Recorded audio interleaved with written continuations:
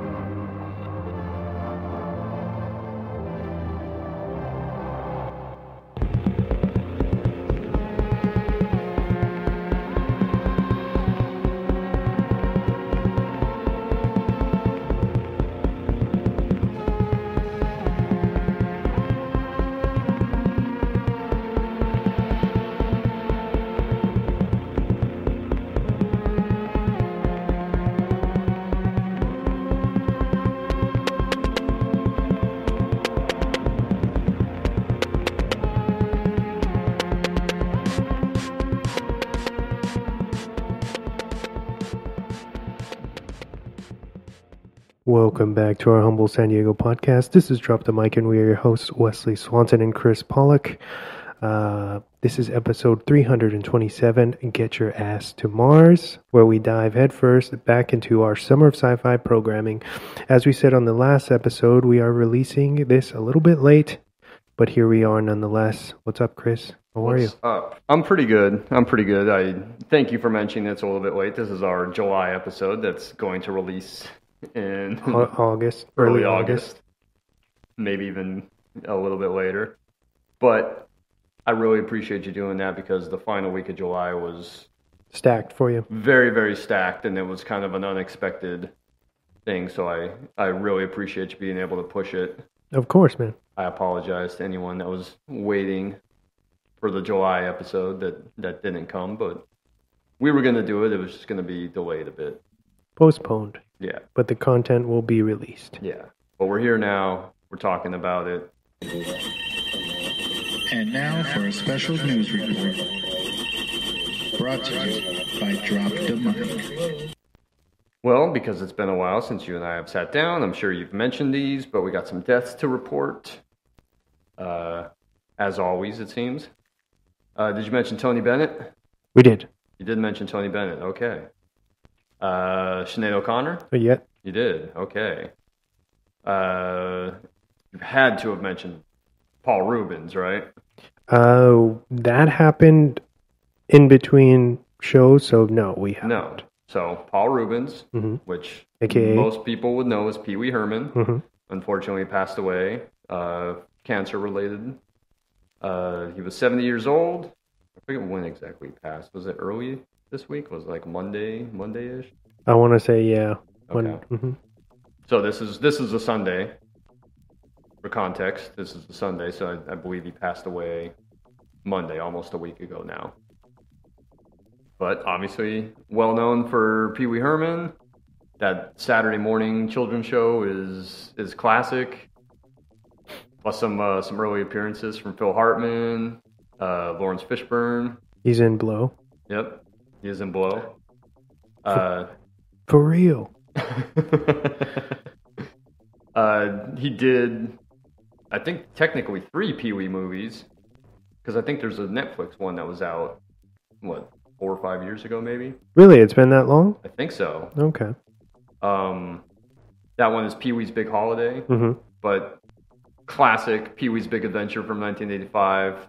Uh, his first movie, Tim Burton's first movie. Well, not his first movie per se, but his first movie as Pee Wee. hmm Um, great movie, man. I love that movie a lot. So you did grow up with. You're, Yes. You're a big Pee Wee guy. Yeah. All right. Yeah, because I was I was that age when uh, when he was coming up, doing that doing that movie, doing that show.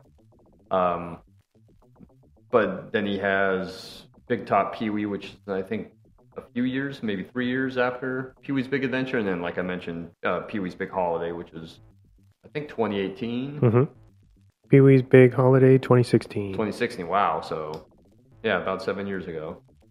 Okay.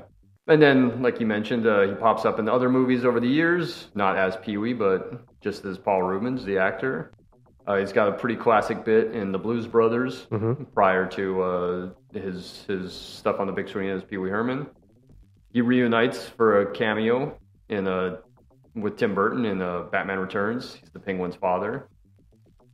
And what else? Buffy the Vampire Slayer, Mm. the the film. He's got a pretty great bit in that. Mystery Men, obviously. hmm He's really good in that, and then Blow, like you mentioned. So that's unfortunate. Fucking cancer, dude. Uh, privately battling, right? hmm He didn't Yep, re- yeah, he- he didn't. He didn't mention anything, and I think it wasn't mentioned until they were like released a, a His- letter his- that he had written prior to his death to be released. You know, after he had passed. Give him a shout. Watch Pee Wee's Big Adventure. It's so much fun. R.I.P. R.I.P. I know that you mentioned this before. We talked about it on the ride over here, but uh, the cropping issue with Oppenheimer, which is kind of known as Kroppenheimer. hmm Um, and I don't know what else you got into previously when you mentioned this on the news, but it was shot on 65 millimeter IMAX film. hmm But there's only 30 venues in the entire world, 19 of which are in the US, that actually have the capability of showing IMAX 70 millimeter film That can accommodate that. that can accommodate that. Yeah. Mhm. Uh, by the way, I say it's shot on 65 millimeter, which it technically is. It's blown up to 70 for projection because it includes the soundtrack. Mm-hmm. That's where the extra five millimeters come in.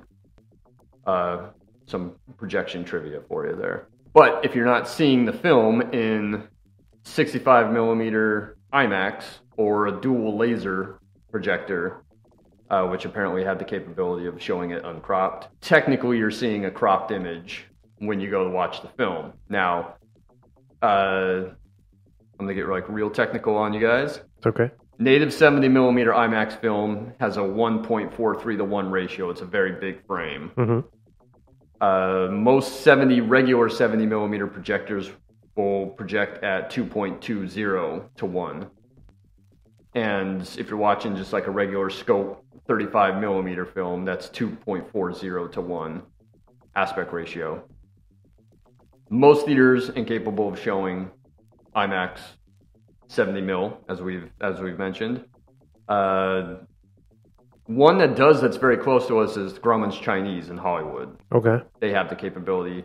Apparently, they were sold out, and they've been sold out ever since the movie got released because that one is one of the few that can actually show it the way it's intended to be seen.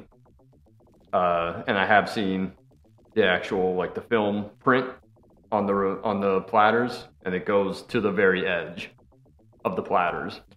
And it's what seven miles long? 11, suppose? 11, Eleven. miles. Uh, so pretty crazy, but I've seen I've seen pictures from the Chinese from someone I know that that was up there for the premiere. Oh wow. A projectionist that I know that was up there for the premiere and showed showed the pictures and like the film goes all the way to the edge of the platters. They even have brackets on the platter to hold the film in place. Should it start to slide? I know. I heard that uh, some platters or weren't even couldn't even hold the film. They had to like extend platters. Probably, yeah. Yeah, because you don't see many, very many three-hour movies in IMAX 70 millimeter. hmm Uh, but yeah, so it is cropped if you're watching it in anything but that. However, having seen the image, the comparison, the image comparisons, the cropping isn't a whole lot. Very minimal, right? Yeah, you're losing a bit at the top and the bottom, not a terrible amount. It's not like watching a pan and like a, a movie that was in CinemaScope that's on like a regular, you know, four by three hmm box TV from the old school, where you're obviously losing a ton of picture on either side. It's not like that. Like the cropping on these, from what I've seen, isn't a whole lot. Okay. So if you're going to watch it like in a regular theater, even in if you're lucky enough to see it in 70 millimeter, regular 70 millimeter film, believe me, you're not missing Very a ton much. of shit that's happening outside of the frame that you're seeing. But most movie theaters, to accommodate this, most movies that show digital, to accommodate that, they'll have the the screen be as big as it can be, and then they'll just project the image, which will have black bars in the top and the bottom. Like uh, Dunkirk, I remember was like that because Dunkirk was in 70 millimeter, but when you go went to go watch it at a regular movie theater, they just had black bars at the top and the bottom so that they wouldn't cut off the frame because a regular 70 millimeter frame doesn't fit into what would normally be you know a flat picture, which is 185, Mhm. or a scope, which is 2.4. So it does it, it will have the black bars at the top and the bottom, and my guess is most people that watched it projected digitally were in a theater that had the black bars at the top and the bottom. And usually with 70 millimeter film in a theater, the, the top masking will adjust will be adjusted specifically to the, the image. Okay. We did it for Dunkirk. I remember doing it for uh, the other movies I've run, Tenet, uh, Interstellar, right? Inter- Interstellar, and then uh, Hateful Eight, which we were talking about on the ride over. I remember adjusting the top masking to, to fit the image so that you don't have a ton of empty dead space at the top hmm of the image. So that's a little uh, inside baseball talk, maybe, but uh, I just wanted to let the audience know that that's what's going on with Oppenheimer. Very nice. If you're if you were lucky to see it in IMAX 70 millimeter, that's awesome because all of those shows, so far as I know, are sold out, and to the point where people were trying to resell tickets online for hundreds of dollars a piece. Are they still showing it as we speak? Yes. Okay. Yes. And I don't know if it's going to get changed out for anything soon because it kind of comes at that period of time where there isn't a whole lot of bigger movies shown. It's probably going to get kicked off of IMAX screens mostly. Uh, I think when Gran Turismo comes out, because Gran Turismo is supposed to be in IMAX, Which is next week. which I believe is next week, if not two weeks from now. What do you think about that movie? Are you excited? Are you going to watch it? fuck. Yeah. No, I don't really care. it's like racing, which I don't care a whole lot about. hmm Saying that, I did like Ford v Ferrari, Mhm. but and it's like racing, which I kind of don't care about. But also, it's like the video game aspect of it, which I don't care about as well. What about, uh, this is way out in left field, but didn't Stallone do some racing movie? Uh, yeah, he did it with Renny Harlin. I think it was called Driven. Yes. Was that like 2000? Yeah, it was, like it was from a while back. I never saw it. I Oh. just didn't care. Okay. He was in that period where he was making like a bunch of shitty movies. hmm hmm Get Carter or whatever. Get Carter's like that same around that same time, which isn't great. He had like another one or two that kind of it was like kind of that post Copland. Like he kind of struck out with the the dramatic role, even though he's amazing in that movie, and Mhm. it should get more more love uh, and his performance as well. But it it was that period between Copland and trying to think like what was kind of like a more of a comeback movie for him. Probably Rocky Balboa. So it's probably like a seven or eight year period where his movies aren't that great. I, ICU, right? Is another. ICU, which I think went straight to video Really? at that point, yeah. Hmm. So I, I do believe that at least in the bigger venues, Oppenheimer is still showing and will probably show for a while. And unless there's some kind of contract with you know places like the Grauman's Chinese, I'd say as long as they're selling that movie out, like continue showing it. Yeah. Why not? Yeah.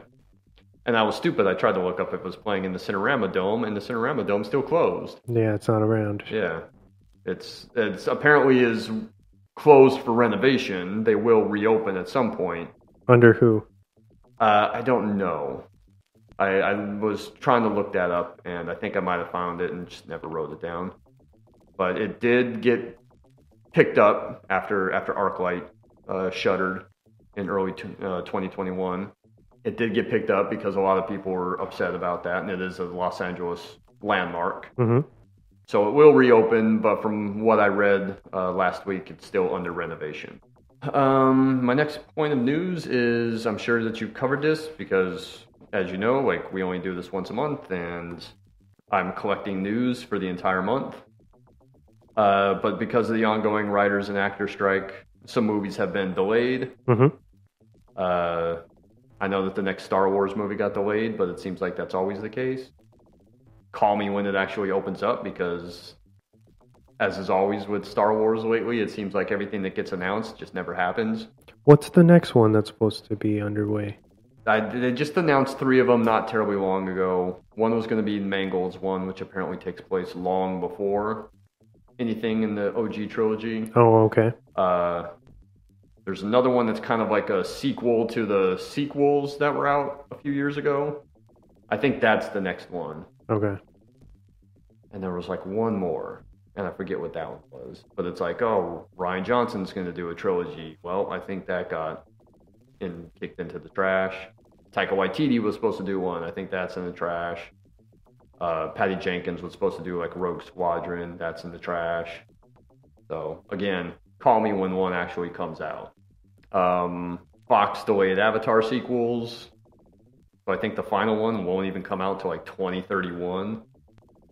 I remember Zoe Saldana released some statement saying that she'll be like 53 when the Yeah. when that one comes out or something crazy. The world will probably be have, have died out by then. For all you downers out there. we'll be dead before the, the final Avatar movie comes out, for those of you that care. Yorgos Lanthimos' Poor Things got delayed from September to December. hmm Uh, Taika Waititi's Next Goal Wins. Supposed to be out in November, but I think that's been delayed numerous times. And I believe it got kicked to sometime next year. That got delayed because of COVID. It got delayed because Armie Hammer was a creep and they reshot everything with Michael Fassbender. Um, so that that's a movie that should have been out like four years ago originally. So another one. Call me when that actually opens up. uh, Challengers got delayed Okay. from September into April of next year. Sony announced they delayed Kraven the Hunter from October to August of next year. That's a very long wait. That doesn't bode well for the movie. Not that I was expected that to be any good. Uh, Beyond the Spider-Verse, which is supposed to come out in March, and even then, that was very, very uh, tentative. I think got delayed to. I think it got taken off the schedule completely Indefinitely now. Yeah. and I don't I don't think they would have made March. Anyways, it sounded like they were barely starting Mhm. a lot of stuff on that. Uh, and I'm sure you've mentioned this before, but as of right now, they haven't delayed them. But Warner Brothers was talking about delaying Dune. Mhm. They were talking about delaying The Color Purple, which I believe is a Christmas release, and Aquaman, the Aquaman sequel, which was supposed to come out just before Christmas, I think the week prior all of those are rumored to possibly be getting delayed, but as of right now, as of I think two days ago when I checked to see if there were any updates, they're still on schedule. So Dune will open up in, in November as planned right now. Aquaman in December and the Color Purple musical at, at Christmas.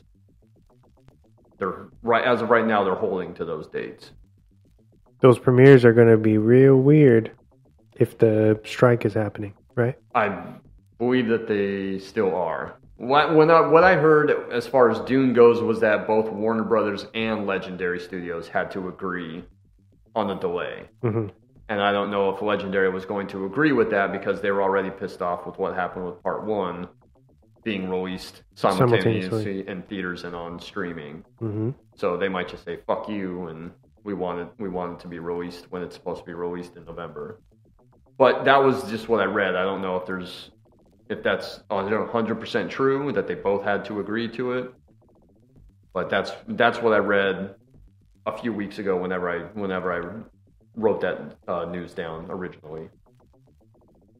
So I hope I really do hope Dune comes out in November because I'm stoked for it.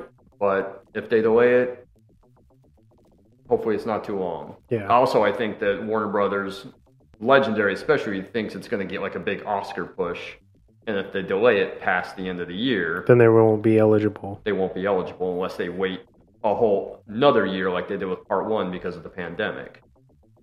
They could wait to release it like Christmas of, or you know, Thanksgiving, Christmas holiday period of 2024. hmm So who knows? All I know is I really want to see the movie. I hope it doesn't get delayed. But if it does, it does. And my last piece of news, which I don't know if you've seen, which I thought was pretty funny, was that Variety reported that Lin Manuel Miranda was attached to create a stage musical version of The Warriors. No. I didn't know about that. Apparently, it's supposed to be based on the 1965 source novel and not necessarily Walter Hill's film Version. version, of it. hmm But that's what I read.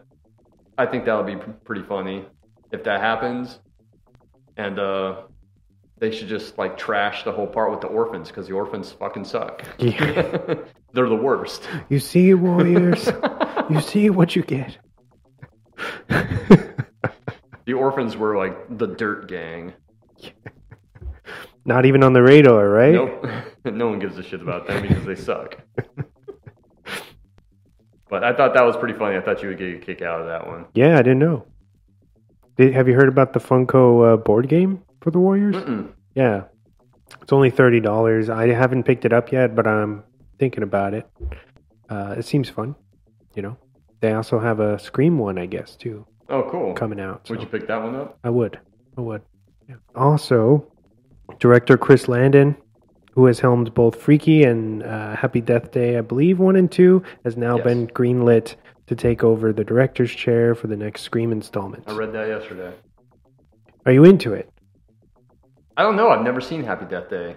You haven't, so you Neither haven't. one of 'em. Okay, you're unfamiliar with his work. I'm familiar. I, I have seen Freaky because that was like that was a weird COVID release Mm-hmm. that got and it was like right on. It was on HBO like almost immediately. Did you like it? I did. It was pretty fun. And from what I understand, Happy Death Day is as well. Very much in that same wheelhouse. Yeah. Um, I am still a little bummed that Radio Silence stepped away. It makes me a little worried, like you know, for obvious Mhm. reasons, because of their they did so well those first two um, films. So I'm sad to see them go, but also they're doing their Universal Monsters picture, or whatever that may be, which is probably they're just busy Yeah. right? Um, Chris Landon, though, I feel like he does have that kind of uh, cheekiness Mhm. to his filmmaking. Uh, dare I say, I was ta- talking to Ryan, my buddy Ryan, the other day about this. That he's kind of like uh, a younger Wes Craven, like that style. You know, he's got that like that funny kind of meta humor, um, self-referencing or whatever. So that might be. It'll be cool to see what he can do with Ghostface. Uh, and hopefully he doesn't let me down or us down. Have you seen Six yet? No, but I will by the time we do the year-end show in about four or five months. Ah, okay. I will have seen it because I know that's something that we'll want to talk about. Very nice. All right. Uh, there's there's a handful of movies I need to watch that I missed because of just being so busy for those first four or five months Gotcha. that I, I missed that I will plan on watching by the time that we do the year-end show in December. Okay. Which is kind of what I did last year, where I did like that sprint towards the finish line. Oh, yeah. the week, you know, after those few days after Christmas before we did the show, where I was watching like four or five of those movies. Back to back. Yeah, to catch up. I watched like two or three of them one night. And now it's time for the weekly recommendations. Uh, one that probably should have mentioned the last time because I saw this before we sat down to do the Twelve Monkeys episode, Mm-hmm. and that was The Heat. I had never seen The Heat Oh, okay. Yeah. with Melissa McCarthy and Sandra Bullock. Mm-hmm. It's fucking funny. You like it? Yeah, I liked it a lot. Because I love Bridesmaids, and I, I thought that Spy was fucking hilarious. Mm-hmm. But I had never seen The Heat. And I, I watched it just before we did 12 Monkeys, but I was already recommending, A bunch of stuff. you know, a, a, a couple others, if I'm not mistaken. Uh, but yeah, it was it was fucking funny. I, I enjoyed it. Did you say where that's is that streaming? That was on HBO, but that was probably like two months ago. I don't know if it still is. Hopefully it is. Uh, but that's where I caught it. Okay. The Heat. The Heat. And then, uh, uh, I mean, we've talked about movies in this this area before. A couple summers ago, we did The Good, the Bad, and the Ugly. Mm-hmm. And I know that we've talked about that trilogy. I do want to shout out because I just rewatched it uh, for a few dollars more. Okay. Yeah. The the second part of that that trilogy. Uh, Sergio. Sergio Leone. It's amazing. I don't. I think that that middle that middle movie doesn't get enough love. I'm Mhm. pretty sure I said this when we did the Good, the Bad, and the Ugly. I don't think it gets enough love. It's great. Lee Van Cleef is great in that movie, and the score, obviously by Morricone, is incredible. Uh, Clint Eastwood is great in that movie. want to shout out uh, Gian Maria Volonté, Mhm. who's the villain in that. By the way, every single one of those movies has a great villain. That's one. That's one thing that always was kind of lacking in the like the John Wayne westerns Uh, an iconic Yeah. villain. Yeah. that we weren't really fans of. Those older westerns, they didn't really have a good villain. hmm And the villain, which Gian Maria Volonté is the villain in both Fistful of Dollars and For a Few Dollars More, because Sergio Leone liked to use a lot of the same actors. hmm And even though Clint Eastwood's Man with No Name is the same character, although I think there are some conspiracy theories that he's not. hmm But uh, even though he's the same character, everything else is different. Even though a ton of the same actors are popping up in the movies. But yeah, the villain in those first two by Volonté, he's super ruthless. And that's what is always lacking in those those other like John Wayne type westerns. They don't have a good villain. They don't have someone that you're afraid of or someone that's like murdering people in cold blood. It's like I, I feel like I'm always saying this, but the stakes, man. There's got to be stakes for you to care, and that's uh, a villain helps kind of bring that out, Yeah. right, in us.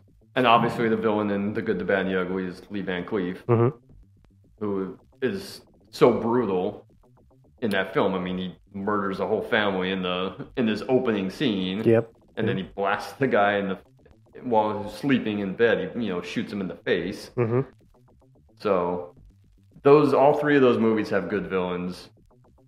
Bru- brutal, ruthless, cold-blooded villains. That's what makes those movies. That's a, a part of what makes those movies very, very iconic and rewatchable. Yeah. So shout out for a few dollars more. Check that out. Good movie. Both that I think all three of them are are on like HBO, Cinemax. So hopefully they're on Max right now. Okay. And if you can't catch them there, fucking buy them because they're amazing movies. You should own them. And lastly, I want to shout out. I know you shouted it out on the last.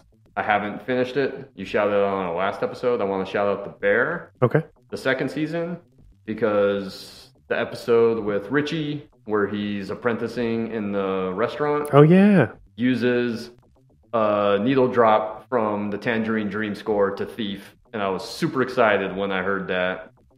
That is a movie that takes place in Chicago, much like the show does. So when I heard that, it's always it's a show that's always had pretty solid music uh, in the show, and but when I heard the Tangerine Dream score from Thief Yeah. playing during uh, that episode, I got super excited. Do you know that they're coming to town? Oh really? No, I did not. I think it's this winter. They're coming. They're doing a show. Yeah. Cool, So I thought I'd let you know that cool. since you're a big fan. I know I would love to check them out. But I still have the last episode of the series of the second season to check out. I think I haven't seen. I need to finish it as well. Okay. So I'm gonna watch that tomorrow. It's just the last couple of days have been super busy and obviously I was hanging out with you guys last night, so that's right. didn't get a chance to watch it. We're recording tonight, so don't get a chance to watch it tonight. Mhm. But I will tomorrow after I get home from work watch the final episode of that season. But I did want to shout that out. Good season, good show. But I was really excited when I heard the Tangerine Dream. Um, on a separate note about the bear, you weren't bothered by the kind of different structure that this season took, right? No, Okay, No. cool. Because I just heard some, I heard some bad. Uh, I've I really loved this new season, and I felt like uh, the the progression was natural, Mhm. and it's where I wanted it to go. But I heard from uh, different people that that they didn't care anymore because it wasn't. It's like the magic was taken away from what made it special from the first season. But it's like, well, I- you can't just recycle. it's still yeah. like pretty nuts and uh, pretty anxiety inducing. Like watching them try to open this restaurant hmm and like being up against the the time frame and the schedule and nothing really working out for them. hmm Plus that whole flashback episode to the Christmas Amazing. is amazing with a, a stacked uh, supporting cast, which I won't spoil for those of you who haven't watched it. But also, like, just I could feel myself getting anxious Oh yeah. watching that episode because it was just so nuts and everyone is such a mess. But uh, regardless of the structure of the season, like, are the characters still great? Are they still compelling? Yeah, Yes. yeah, every single one of them. So whatever. Everyone's entitled to their opinion, but those opinions are wrong. So. I have to agree.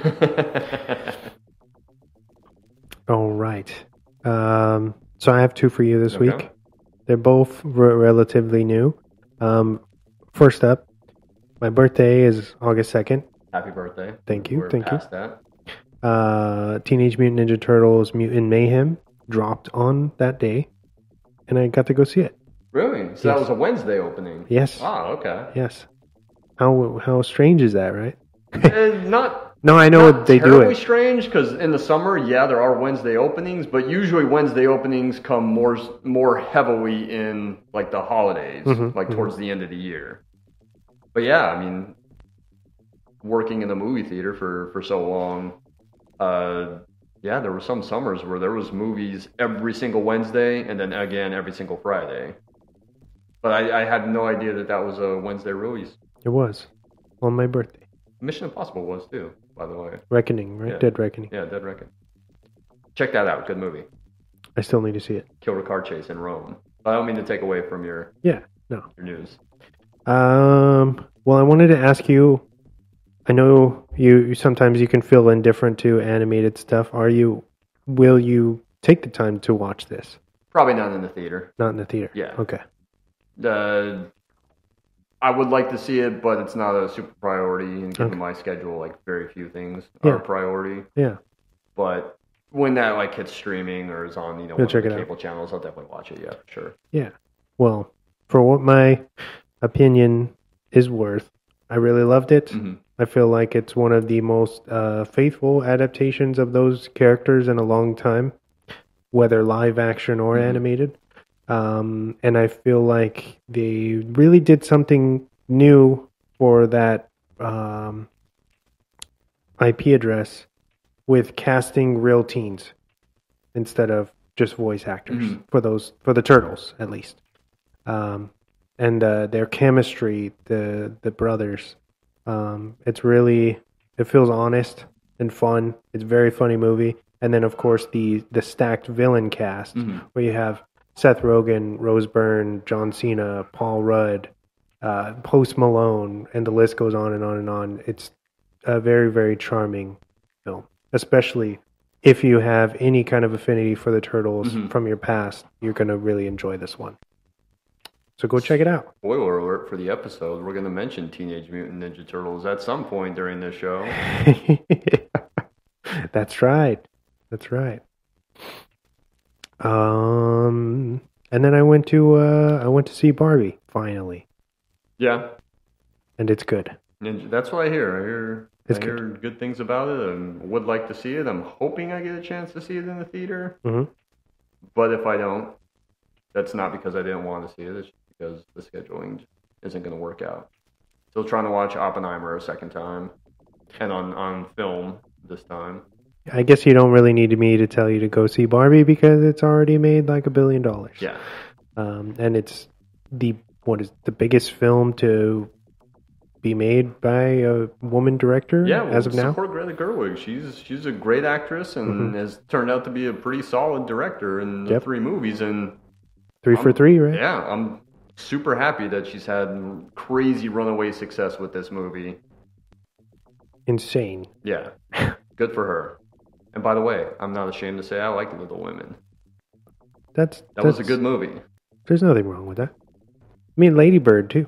Lady Bird's great. You But know- Lady Bird was like that was one I was expected to see, and I wasn't really expecting to see Little Women, and then went to go watch it and enjoyed it. You really lot. liked yeah. it. Yeah. Five, four, three, two, one. And now for the movie focus of the week.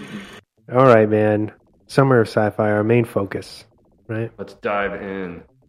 So we're talking about Total Recall, uh, which I'm not sure if I said at the top of the show, but I'm saying it now. Total Recall. If you didn't get that hint from Get the your ass to Mars. Yeah.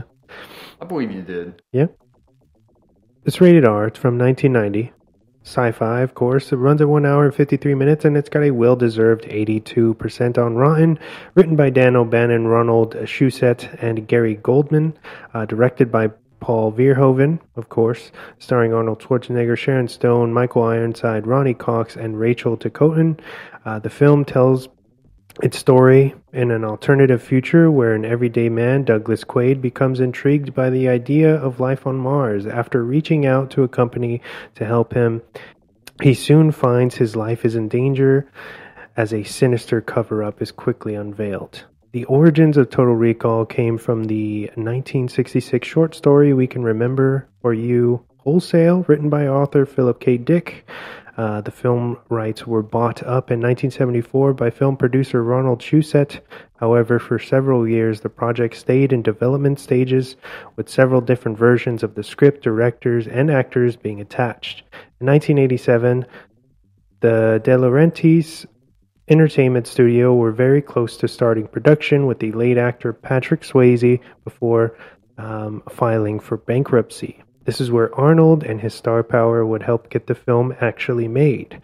Despite him being told no numerous times for the role of Quaid, Arnold would ask uh, Carolco Pictures to pick up the rights for a small fee, allowing him a lot of the say on what would happen during the writing process as well as production, eventually leading to the hiring of director Paul Verhoeven, who uh, Arnold was a big fan of and had a long had been longing to work with for some time. Moving the shoot from Australia to Mexico City, the crew took advantage of the already unique and beautiful architecture, repainting the areas to match the tone of said project. Much like the over the top violence throughout the film, you rarely see in camera effects work on display nowadays, and that is what truly makes Total Recall have incredible longevity. However, the violence did cause some trouble with the original cut, being slapped with an X rating. At first, trimming it down, the studio was able to secure a hard R rating, of course, as we all know. Released June 1st, 1990. The film grossed $261 million against its estimated $80, $80 million budget. This made the film one of the most financially successful rated R flicks of its time. Seek out the film now, uh, streaming via AMC Plus. Thank you. Does AMC Plus edit? No, No. Okay. not not on the app. It's all completely uncut. Okay. As if it was on like regular AMC, like on television, They would, yeah. it would be edited. But with the with the app, with the streaming, You get the real, Okay. um, and it's the remastered version, a restored Cool, okay. restoration, which is pretty cool. I was gonna say if it's an edited version, No, no, no, it's don't bother. Gonna suck. But yeah, check out the movie if you haven't, people. Uh, but of course, you know the drill, Chris. Uh, let's open the floor to you. What does this movie mean to you, and why did you choose it? Kind of smack dab, almost uh, in the center of summer sci-fi. How many Quatos did you give this movie? I don't think I heard your rating system. Uh, easy four out of five. I love Total Recall. I mean, we've we've talked Verhoeven before because I'm a huge huge fan of RoboCop, hmm and to me, obviously, that's still going to be my favorite movie of his. hmm But Total Recall is just as fucking bananas, just as violent. It falls into those type of movies that got made in the 80s and maybe early 90s. Granted, this is a 1990 release, but it was shot in late 89, 89. right? Uh, that's just that they don't make anymore. That's just over the top, hard R violence with practical effects, with the squib work, which is incredible Yes. and eventually that type of movie started dying out hmm and they don't make action movies like that really No, and anymore. Um, and you can stop me if you think I'm wrong, but I feel like this is like at least lightly satirizing 80s kind of uh, action. Mhm. You know, with with the kind of the the way that uh, Verhoeven at least goes ab- about shooting it. Mhm. You know, so it come it, it's it's crazy that it would come out like uh, at that kind of the bridge between 89 and 90 you know it's almost like the perfect time Mhm. That cast and then you have arnold who is this is like a precursor to a lot of the th- things that made him an even bigger star you know because what did he have under his belt at this time terminate the first The terminator first Terminator. right Uh, Predator hmm is out a few years before this. Uh, he had just stepped into comedy because Twins was a huge hit okay uh, a year or two before this. hmm Um, Commando obviously is, is 85, which I think is pretty big. And then he has he has a couple movies that aren't as financially successful. running man no I hate Running Man. I don't know. I don't know what that made. I hate that movie. It's so dumb. it's stupid. It's probably a lot of fun, but even trying to watch it uh, a year or two ago, I was like, man, this is kind of like lower tier, like prime Arnold. hmm And because, because I've read the the Stephen King story that it's based off of, which is a lot darker hmm and it just it's such just a goofy movie in the end that I just don't care for it okay as much. But yeah, The Running Man, I don't know what that did financially, but like Red Heat and I think Raw Deal, uh, both Red Heat's good. I like Red Heat, but uh, I tried watching Raw Deal and I was I was kind of meh on it.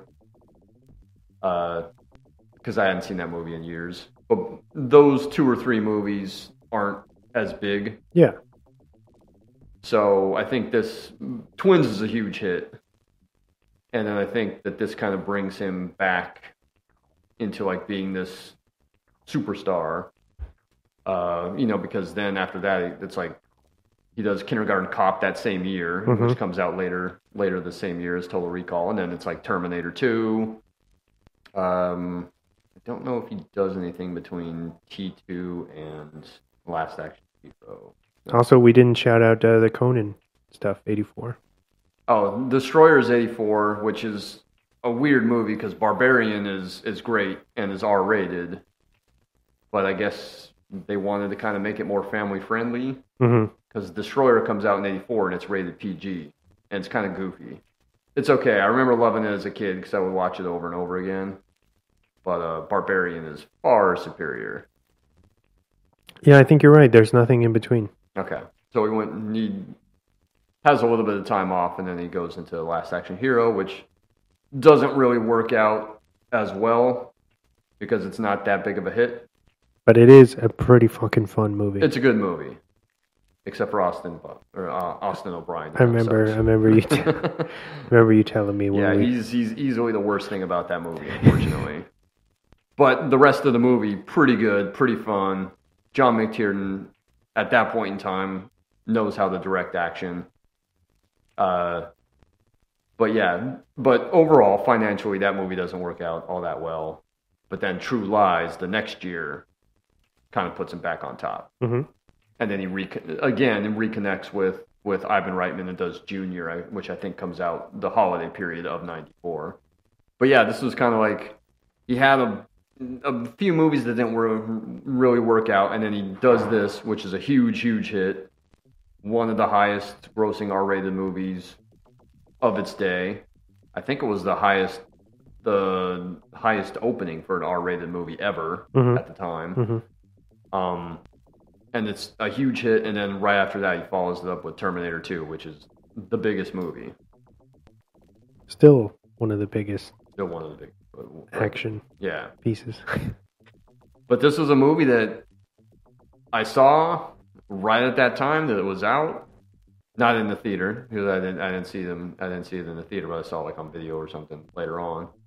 Uh, but I love it. I love Verhoeven's like over the top action and the violence. I love the. I think Schwarzenegger is pretty good in it.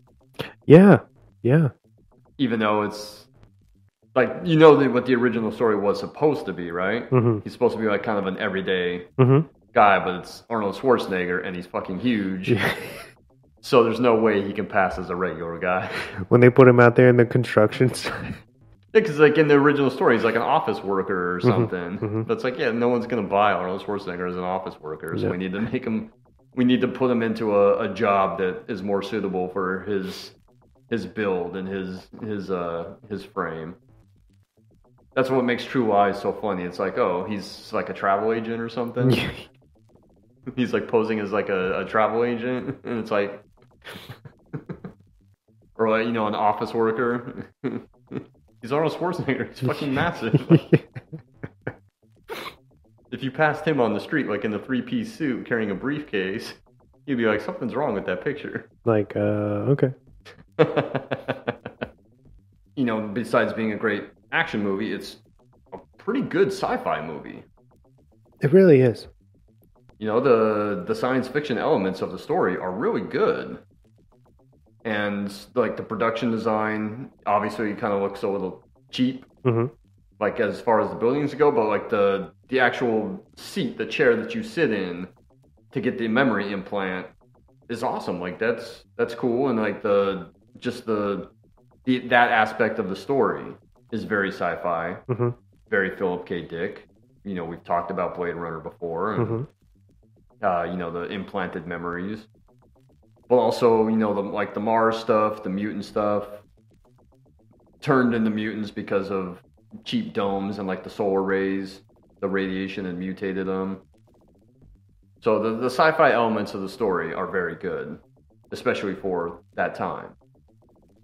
Also, like the effects, the effects are incredible.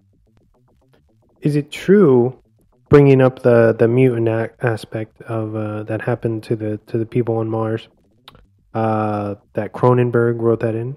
Did you did you hear about that? Yeah, yeah. Well, I would, I would, I love the Verhoeven's version. I was very interested in seeing what Cronenberg Would have would done. have done with it. I know that he was trying to make it more grounded, hmm and then in the end, they were just like, no, we want more of like an action adventure movie. And I think that's kind of Like Raiders, right? yeah, like they said, Raiders of the Lost Ark on Mars, Mhm. basically. I still don't get like the Raiders of the Lost Ark comparison to what we see on screen, but I think that's what they were trying to go for was more of like an adventure story instead of more of a, a cerebral sci-fi. It seems like in the story, that's what Quaid wanted was like a Raiders of the Lost Yeah, he Ark wanted like an scenario. adventure. Yeah, but then he really just unlocks like his old shit and Yeah, but I don't know what the like the original Philip K. Dick story hmm really was. But Cronenberg came on board, works on various versions of the script, and kind of makes what is very close to what the Philip K. Dick story hmm is. And then they said, "Oh no, we're trying to go for more of an adventure movie." more kind of flashy, right? Yeah, and uh, eventually Cronenberg departs. That's in my notes somewhere.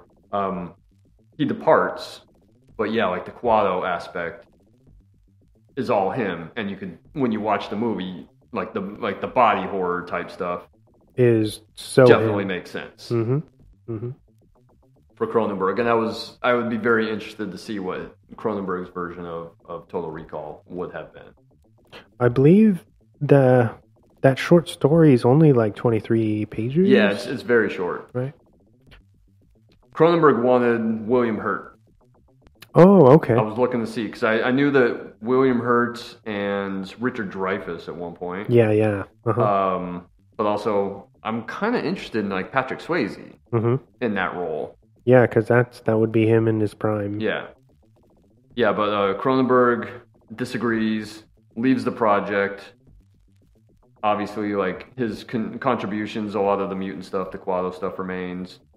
Uh, De Laurentiis tries to sue Mhm. Cronenberg, or always threatens to sue Cronenberg, but Cronenberg decides, hey, I'll make another movie for you, which I don't think happens because the DEG, the De Laurentiis Entertainment Group, ends up going under in '87, I think Yes.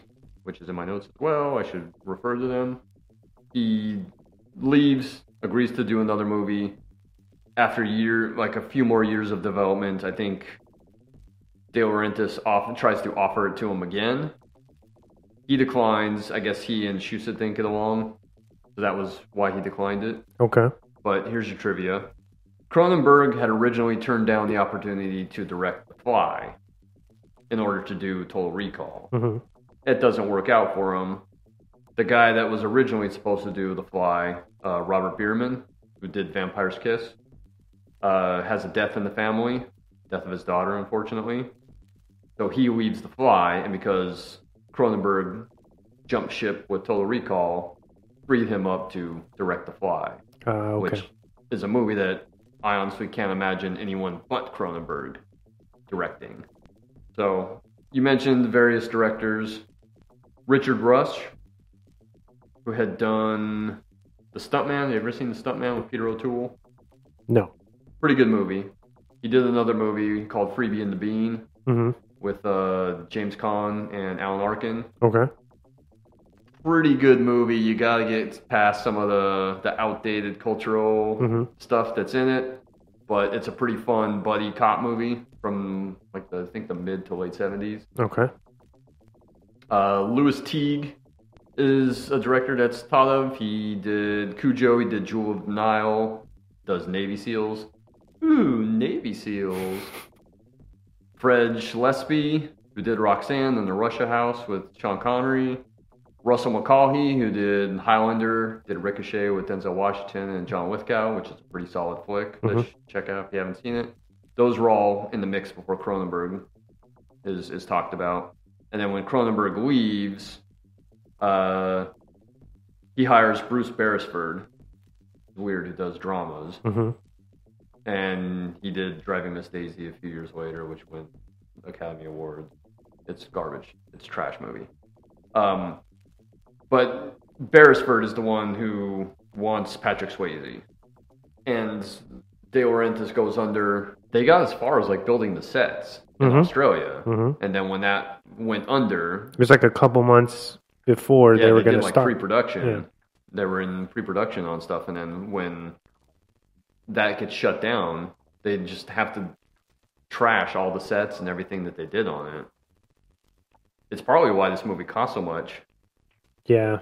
to to produce because at the time it was the most expensive movie ever made. I think I also. I, I read that they did spend 50 million just in the marketing. I believe. Wow. I know that when they were marketing the film, I think the teaser trailer that uh, TriStar put out, n- no one really cared for. Mhm. It didn't really make people excited. Arnold Schwarzenegger absolutely hated it. hmm Uh, thought that it didn't really kind of portray what the movie was. So he talked to um, the head of TriStar at the time, uh, Peter Peter Guber. Anyway, I believe he was the head of because he was the head of Sony at the time, and he talks to him and has them has him recut like a new trailer or make a new trailer hmm for it, and the new trailer for it is much better, gets people excited. If you told me they spent a shit ton of money on marketing, I'd believe it. I don't know if you mentioned this in your write up in the beginning. Ronald Shusett and Dan O'Bannon wrote Alien. Yes. We should shout out because that's an incredible film and a great script. And then while after they collaborated on Alien, they had a they Shusett got a development deal with Walt Disney, and then he pushed to get Total Recall made, and surprisingly, Disney agrees to make the movie on a budget of twenty million. hmm I don't know what that original script was. I can't like watching this version of the movie. I cannot imagine that being a Disney movie at all. Like at the time when it was just Disney, and it, you know they didn't have their offshoots like Touchstone and Silver Screen, and that was all kind of under the Disney Banner. umbrella. Yeah, Okay. because Disney originally, which they still don't, but didn't put out R-rated stuff. It was strictly like family Okay. family stuff. Yeah. So they created like Touchstone and Silver Screen and uh, Hollywood Pictures and everything to release Other. the R-rated stuff. Okay. But I'm shocked that Disney was agreeing to this for 20 million. But Shusett and Bannon were having issues with the final act, so production never got off the ground. And then in 1982, Disney sold the project to De Laurentiis, hmm who had produced, uh, not at the time, because all these movies are post 1982, but prior to them going under, they do Manhunter, they do Blue Velvet, they do Evil Dead 2, hmm Near Dark, which we've discussed before. Those were all De Laurentiis uh, films, and because of the the mess with De Laurentiis, some of those aren't available, like streaming wise. And we talked about when we did Near Dark last year. Yeah, that's right. kind of a hard movie to find. So that De Laurentiis has it, and then when De Laurentiis goes under, it ends up at, at Carolco, which we've talked about before, and we will talk about again here in a few minutes, like what they're really famous for, how famously they went out of business about four or five years later. But here, here's the deal with Carolco. They acquire the assets, including Total Recall. You mentioned Arnold Schwarzenegger was a big fan of the project. Mm-hmm. Schwarzenegger was one of the people considered for RoboCop. That wasn't going to work because he's already a big dude, and then putting the costume on him. It just said looked ridiculous. Well, Right? They said he was going to look like the Michelin Man because the, the costume was already going to add a ton of bulk. Peter Weller is not a big dude. Yeah, you need somebody slender. Right? Yeah. hmm But with that with that costume on, he's got a lot of bulk on him. So Schwarzenegger was going to look ridiculous. Yeah. But Schwarzenegger was a big fan of RoboCop and Verhoeven's, and they had come close to working together. So he's kind of using his star power to push the project. Uh, convince Carolco to pay him 10 million 15% of the profits for the film. Uh, wants to hire Verhoeven as director because he liked RoboCop, and he just he kind of like shepherds this project. He's overseeing a ton of the pre-production stuff. He's overseeing overseeing the rewrites to the script, casting, set construction because he's he's like really pumped on this on this film. hmm hmm So even though he's an actor, and I don't think he's even credited as a producer, he he's got a lot to say. He also uh, took care of the uh, of the actors and the and the crew. From what I hear, he threw them parties almost every other day, and just was like an all around pretty good dude. Do you know about Michael Ironside? Did you read that in your research? Yeah, are you referring to the fact that Schwarzenegger let him use his his phone for long distance uh, calls because um, His sister was was ill at the was time? ill, going through uh, cancer Mhm. uh, treatments. So he noticed like Ironside was always kind of you know in between takes, making phone calls and everything, and Mhm. you know checking in, and he he talks to him and finds out that that's what's going on. So he you lets him like personally use his probably had like a better setup in his trailer because he's you know a major star Yeah, but lets him use that and then he you know has conversations with his sister ironside's sister says oh you know this you're going through cancer here's like some good some good uh, food for you some some food that'll be helpful for you that'll be more nutritious hmm and everything and apparently is still pretty close with Ironside and his, his sister because of all that. But yeah, it was seemingly a, a, a good dude all around on, on set. yeah. And again, this is his baby basically. hmm So that's that's really good. That's really cool of him to do all that. Shusett and Bannon, Bannon, O'Bannon are doing the, the script. And Verhoeven is working with Gary Goldman on the script for a movie called Warrior, which never comes uh, to fruition, but likes his work a lot, wants to bring him on to do rewrites on Total Recall. hmm Goldman, shout out, I believe is a co-writer on Big Trouble in Little China, a movie that we've kind of talked about when we talked John Carpenter last year. Yeah. A movie that is one of those movies that I remember watching a shit ton when I was young. Love. So uh, he comes on to do do the rewrites, and then I think it's it's Goldman that kind of brings the idea uh, to Verhoeven that is this real or is it all part of the the recall memory implant? I think I think Goldman's responsible for bringing that aspect to the film. A very kind of Nolan esque thing to Yeah. do. Yeah, very ambiguous. We were just talking with Vic hmm off air before we started as to whether or not things were real. We can have this discussion on air right now, or in a few. But I believe that's Goldman that brings that uh, that in. O'Bannon has a falling out with Verhoeven because Verhoeven removes a lot of the satirical humor, even though I still agree with you that there is some Yeah. in it. Still it's, it's there's some scenes that are very RoboCop. uh, but kind of ditches the more subtler aspects of the film because Arnold's on board now, so it becomes more of an action movie. Uh, he says, you know, he, he replaced the humor with the graphic violence, which is something that, gets mentioned in a lot of the negative reviews, which we'll get into later, is that it's it's over the top violent. But with Schwarzenegger as the store as the star, excuse me, Verhoeven's kind of looking at, well, this is action is this guy's wheelhouse, not necessarily, you know, some some dramatic acting. And also, if we were, and we talked about RoboCop on the show a couple Yeah. years back, right? Yeah. And that's very violent. You know, that's what Verhoeven was known for. For the was it the it's it's RoboCop, Total Recall, and Starship, right? Mm-hmm. As far as sci-fi, unofficial like sci-fi the Trilogy. trilogy. uh-huh, yeah. uh-huh. Uh, yeah, and even before that, I haven't seen any of his Dutch work, so I can't speak on it. Apparently, a lot of it was very sexy.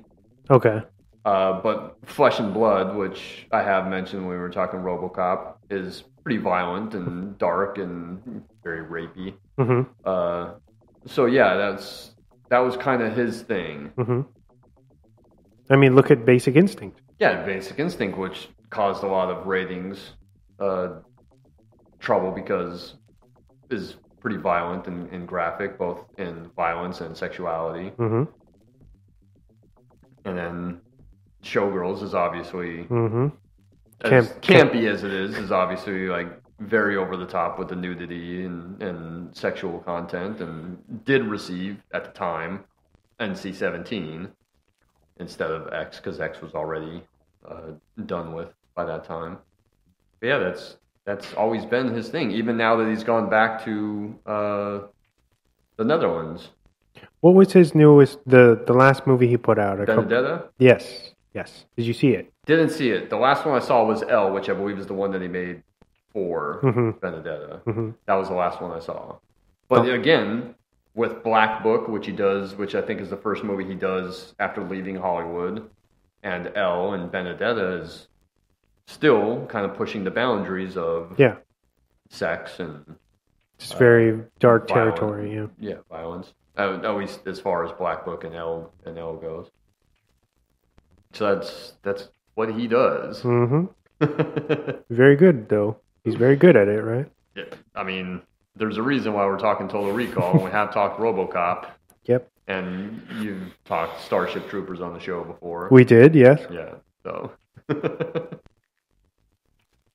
but yeah, and I don't know what O'Bannon kind of thought was going to happen, like with when Verhoeven and Schwarzenegger came on board. If it was going to be the same movie as originally written, Maybe what happened was that there's the that the bigger cut that they obviously they sliced down to Mhm. get their rated R. So maybe they just went after a lot of the stuff that he cared about and was offended by. You know, they were like, "Well, we can kind of trim all of this out," and it was a lot of the stuff that meant something to him, right? That's just a guess, but maybe because I, I know there was obviously in my write up I was talking about how there was issues with the um, editing, right? So I don't know. Is that um, is there an uncut version out there? Do you know? uh, like RoboCop, I don't think so. No, no official release. To my knowledge, no. And I, I'm, I don't have it. That would be interesting, but I don't think that they ever put out a version that had like all the uncut stuff. I think I even read, like saw that in a like a video, like a retrospective video I was watching on it, doing research for for this the show. Something that's interesting to me is I've always found this movie to be very visceral, and the fact that this cut that we are familiar with is the tame cut. I mean, even even the R-rated version of RoboCop is pretty fucking intense. yeah. Yep. Yeah. So yeah, like even watching the R-rated cut of Total Recall, like Like- some of those kills are really brutal. The squ- yeah, the squib work, or like even the, the even the the the Sharon Stone death. it's like they're just so uh, nonchalant about Yeah. so much of this. Um, I mean, my favorite doesn't make me sound like a psychopath. My favorite is the guy, the poor dude on the, the escalator Oh yes, when Richter and, and the bad guys are chasing him. the body shield. the poor guy gets caught in the crossfire, ends up getting shot, and Schwarzenegger has like no qualms about just like grabbing him and using him as a shield from the guys at the top, and then spinning around and using him as a shield from like uh, Ironside and his buddy at the bottom. And then when he's all used up, he just tosses the dead body like down the stairs at the guy. But it's brutal. Like he uses the guy as a shield, and even his kills of the dudes at the top of the, the escalator are super brutal. Like the squib work is amazing. Yeah, always on point. I know that they've gotten away from that uh, as time goes on, and obviously it's made things safer with you know trying to get away from uh, or trying to push more towards you know the CGI blood. But man, watching those movies like RoboCop and Total Recall and Die Hard, where it's just like man, the squib work is Or even uh, uh, like Desperado, right? yeah. good stuff. Good stuff. So that that's probably like my favorite squib work in in this film. Because there's so much, they just go so ham with it. But it's it's amazing. It's it's not he, a he gets shot up like Kinney does in RoboCop in the beginning of RoboCop. It's insane. yeah. How many times that poor dude gets shot up.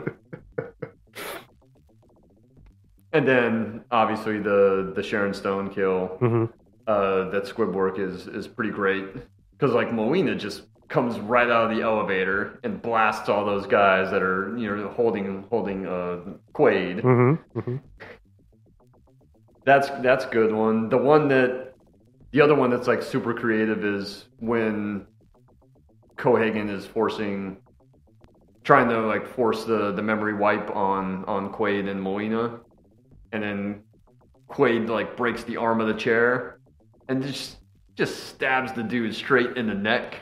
Yeah.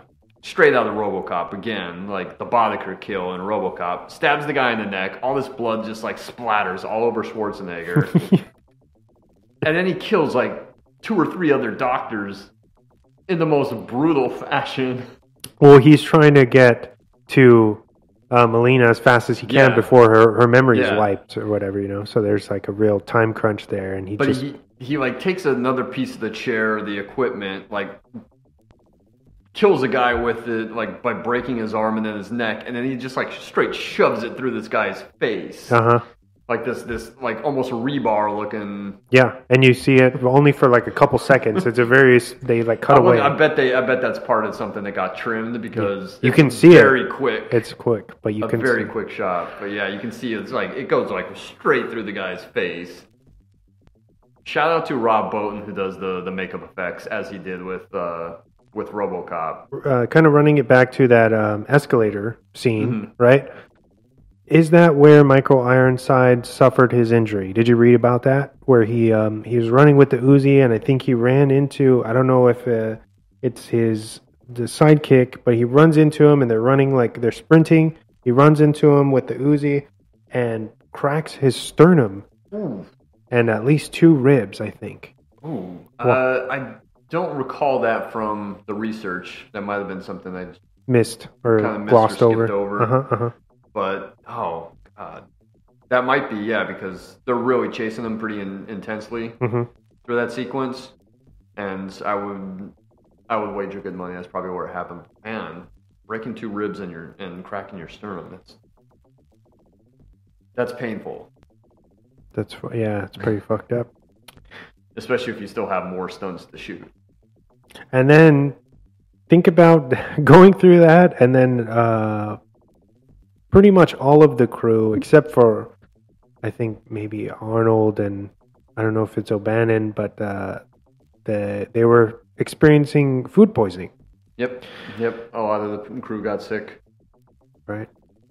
And uh, and Arnold didn't because he flew in all his food from L.A., right? flew in this food from Los Angeles because he had had the bad experience making Predator hmm uh, in Mexico a couple years, two, three years prior. So he kind of learned his lesson and was flying his food in. Much like Steven Spielberg. Yeah. oh, the Raiders of Lost Ark, SpaghettiOs. bro. With SpaghettiOs. so, uh, was shot in Mexico City. hmm That's that's where I ended up shooting. Um, originally budgeted at 30 million, but then it it balloons, and they don't have an exact number, but they estimate between 50 to 80 million is getting spent on it, which makes uh, the movie at the time, like I said, the most expensive movie ever made. Rambo 3, I think, was just prior to that Mhm. because it had a budget that was rumored between 58 to 63 million. Rambo 3 is trash. I don't know why it really cost so much. um, but it's funny because Total Recall is the most expensive movie ever made. The next year, Terminator 2 is the most expensive movie ever made. And then a couple years after that, True Lies is the most expensive movie ever made. True Lies, I think, was the first movie that cost over a $100 million to make.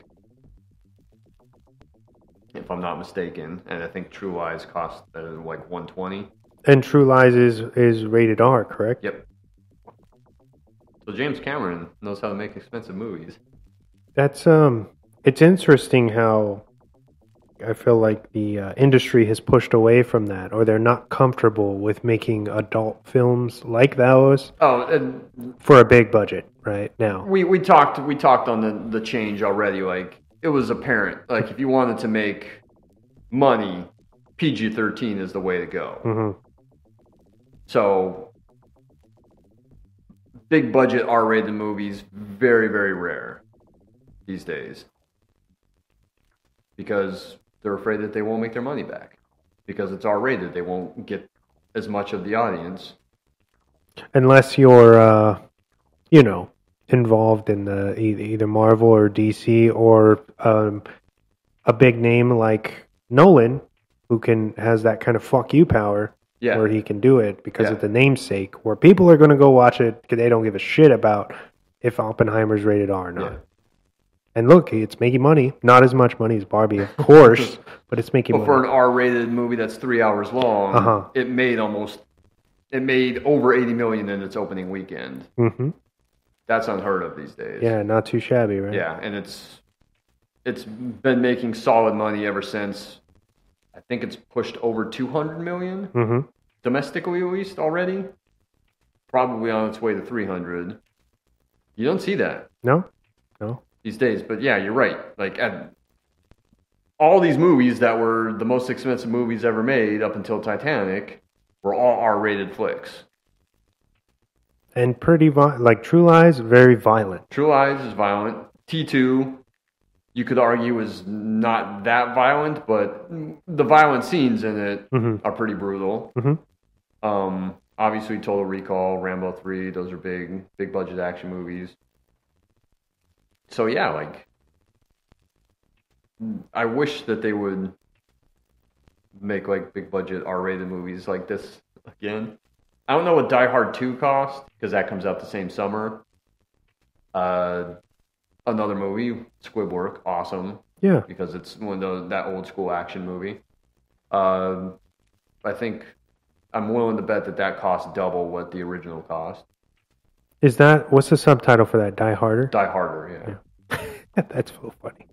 We've discussed Die Hard before, but Die Hard 2, which is pretty solid, is still kind of a pale, a Com- pale imitation of the first one. hmm and they kind of they they kind of went uh more so with like oh like we'll make Bruce Willis quippier and tougher and it's it doesn't work as well as the first one Did you hear about the? um I'm not sure if it's in Vegas or not, but they did a they they unveiled the Bruce Willis wax figure, and they fucking used his likeness from the latest Die Hard movie. Why why would you do that? What's the? I don't understand. oh man old school John McClane with Yeah. the wife beater and Yeah, the go machine back. gun and the bare feet Come on, like? I was really confused when I saw that because I read the you know I read the article and I was all that's so cool, and then they showed the picture and they were like, well, this is obviously from his more contemporary Die Hard days, and I'm just like, why? Yeah. What's the fucking point of that? Um, Did you hear about what Tarantino wants to do yet? Mm-mm. He released a statement saying that uh, his new movie, what is it called, The Critic or whatever? The movie, I think the movie Uh, critic. Uh huh. The movie critic is he has an idea for a cameo for Bruce, um, and he wants him he wants him to do it, given the family says he's okay and, and, and that his his health permits it. hmm And then if not, um, he's going to use like a reference from some other movie that he did. He didn't go into detail, obviously, but I thought that was pretty cool because it it's going to be Tarantino supposedly Mhm. his last uh, uh, you know outing, and it would be a cool little like um, you know send off for Willis as well. So That'd be cool. If it's just a cameo and he's he's good to do it, yeah, definitely. but back to Total Recall. Back to Total Recall. so shot in Mexico, and the Mars exteriors are in uh, the Valley of Fire Mhm. State Park, which is in Nevada. So before we get into talking about whether or not this is real or just a dream, because this is a big aspect of the movie, something that's kind of been debated over the years. Um, I do want to shout out the title of this episode is "Get Your Ass to Mars," Mm-hmm. and did you know that that was an improvised way of kind of changing the the setting, the location of the movie? No. Originally, I think I, it was scripted, but because the budget was too high, they didn't actually shoot it. He Verhoeven had a scene with Quaid getting on a shuttle and taking off for Mars, but because they didn't have the budget to do it, he just had the like the laptop that loop where it says "Get your ass to Mars, get your ass to Mars," and that's where the film transitions from Earth to Mars Yeah. that's that was just like a little improvised way of uh, of changing the the setting. So that people wouldn't be like they would Yeah. know that the okay. I mean, I get it's pretty obvious. It should be obvious to everyone that They- okay, we're on Mars now. Uh huh. With the over accentuated lighting and whatnot, Yeah. right? Where Mars is like super deep red when when you see pictures of Mars these days, it kind of just looks like Earth in the desert. hmm Like the sky is relatively bluish, maybe with like an orangish tint to it. But even like the, the soil isn't that deep, deep blood red that that it is in the in the movie. Beyond that, like the effects in the miniatures in the film are very good. Outstanding. Yes. Yeah, the miniature work is awesome, which Verhoeven had had experience with, and I don't know if you mentioned it on Starship Troopers, or if it was a piece of trivia that I gave you when you were doing the show, but Starship Troopers is like one of the last big budget Hollywood movies to use miniatures before everything kind of went CGI, all all CGI. This is on the cusp of CGI becoming big. I mean, Terminator 2 comes out next year, Mhm. and then a movie that kind of gets forgotten between Terminator 2 and uh, Jurassic Park, which was a big effects movie, is Death Becomes Her Oh, that's right. Uh huh. and then Jurassic Park, and then yeah, kind of everything moves in the CGI. But Starship Troopers has Was- a lot of miniature work. And that's ninety seven. Yes, Yeah. but the miniature work here is great with like the train uh, going through, and like when he's on Mars, he's having a conversation with the guy. And what they do is they install like a tiny screen right into the train, so Yeah. it looks for the the illusion of the people. Yeah, the like the mountain, that whole Mars set exteriors are all miniatures. For that time, this being made in '89, it's pretty seamless. Yeah, I agree. Like the effect, the effects work, the miniature work. You don't question your eyes don't question it. Yeah. Unless you know, Yeah, you know. there is some blue screen stuff. That's a little washy or whatever. Yeah. But, you know. And even even if you look at like when Cohagen's in his office and everything, it looks weird behind him, which I believe is blue screen, hmm which eventually gets replaced with the Mars background, you know, in, in post production. But it is you can kind of tell that that's that's not happening behind him, Cohagen. Cohagen. By the way, shout out Ronny Cox, who is the great villain in Dick Jones and RoboCop and gets to team up with Verhoeven again and plays another great villain. Isn't that why he came back? Because he had so much fun on RoboCop. Yeah, because as we talked about in RoboCop, I don't know if you remember, your your listeners remember, uh, he was always kind of playing like nice characters, hmm hmm and RoboCop gave him a chance to play a villain, which he does impeccably, and then has so much fun that he gets to reteam with Verhoeven to do to do Cohagen, and he's very good in this too. He is. He is. He's not. I don't think he's as ruthless as Dick Jones. And I feel like maybe you don't see him quite as much as you probably could have. But Well, as as with RoboCop, it's like Dick Jones has Clarence Boddicker, hmm and he Cohagen has Richter yeah. to kind of be the. See you at the body. Rick. Oh my god! if you ever watch that like edited on TV, they cut that out when when he and or Schwarzenegger and Ironside have the fight on the elevator. at The shaft, as it's yeah. going up, and he tosses uh, Richter off the side, but he's holding on to him. And I think Richter's trying to pull him off. He's like, "You're coming with me." You're... Arnold Schwarzenegger outweighs you by at least 50 pounds, bro. but he tries to pull him off, and then uh, when Quaid looks up, he sees like the top of the shaft coming. And I think he almost would have been more humane letting him fall, like just letting go of him. But he just like, But instead, he holds on, so he gets like crunched at the top of the shaft and like rips both of his arms off. and he's still alive when he's falling. You remember? He's screaming. Yeah. He probably would have been smashed like a bug on the bottom of the or on the the bottom of the shaft, but hmm. still, it's pretty funny that in the ten seconds or so it takes for him to fall all the way to the bottom of the shaft, he's missing both arms.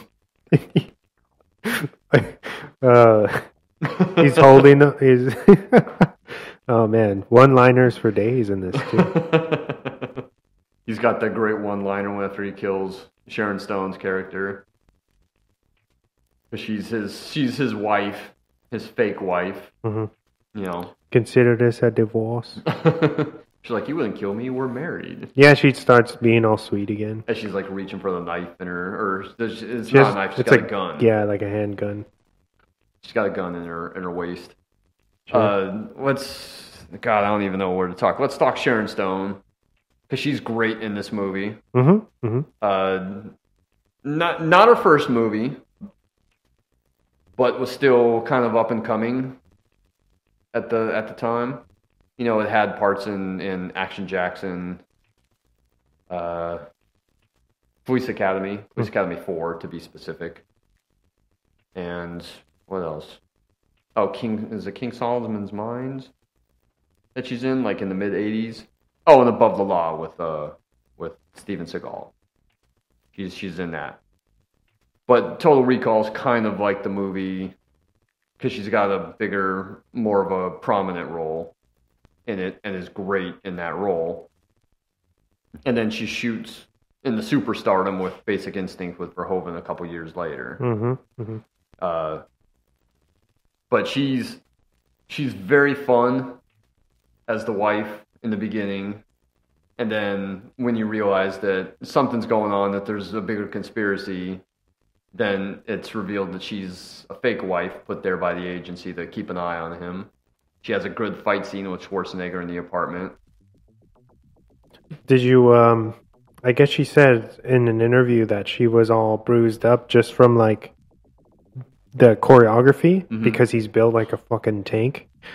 Uh, she was like, "Yeah, just like bouncing off of him was just left me all beat beat up."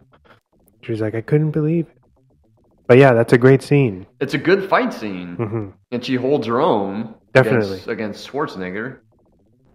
Um, and then she like is trying to like kind of play up the oh you were the best assignment I ever had and you know Like, if you don't trust me, you could tie me up and all this kind of stuff. And she's just buying time, yeah right, she's just stalling because she sees Richter for Richter coming up and then it's funny because like when Richter comes in apparently that was like his girlfriend because they just start making out, Yeah. all weird. and then the, his his friend I forget his friend's name but later on he's like oh yeah like I wouldn't want Quaid like porking my old lady.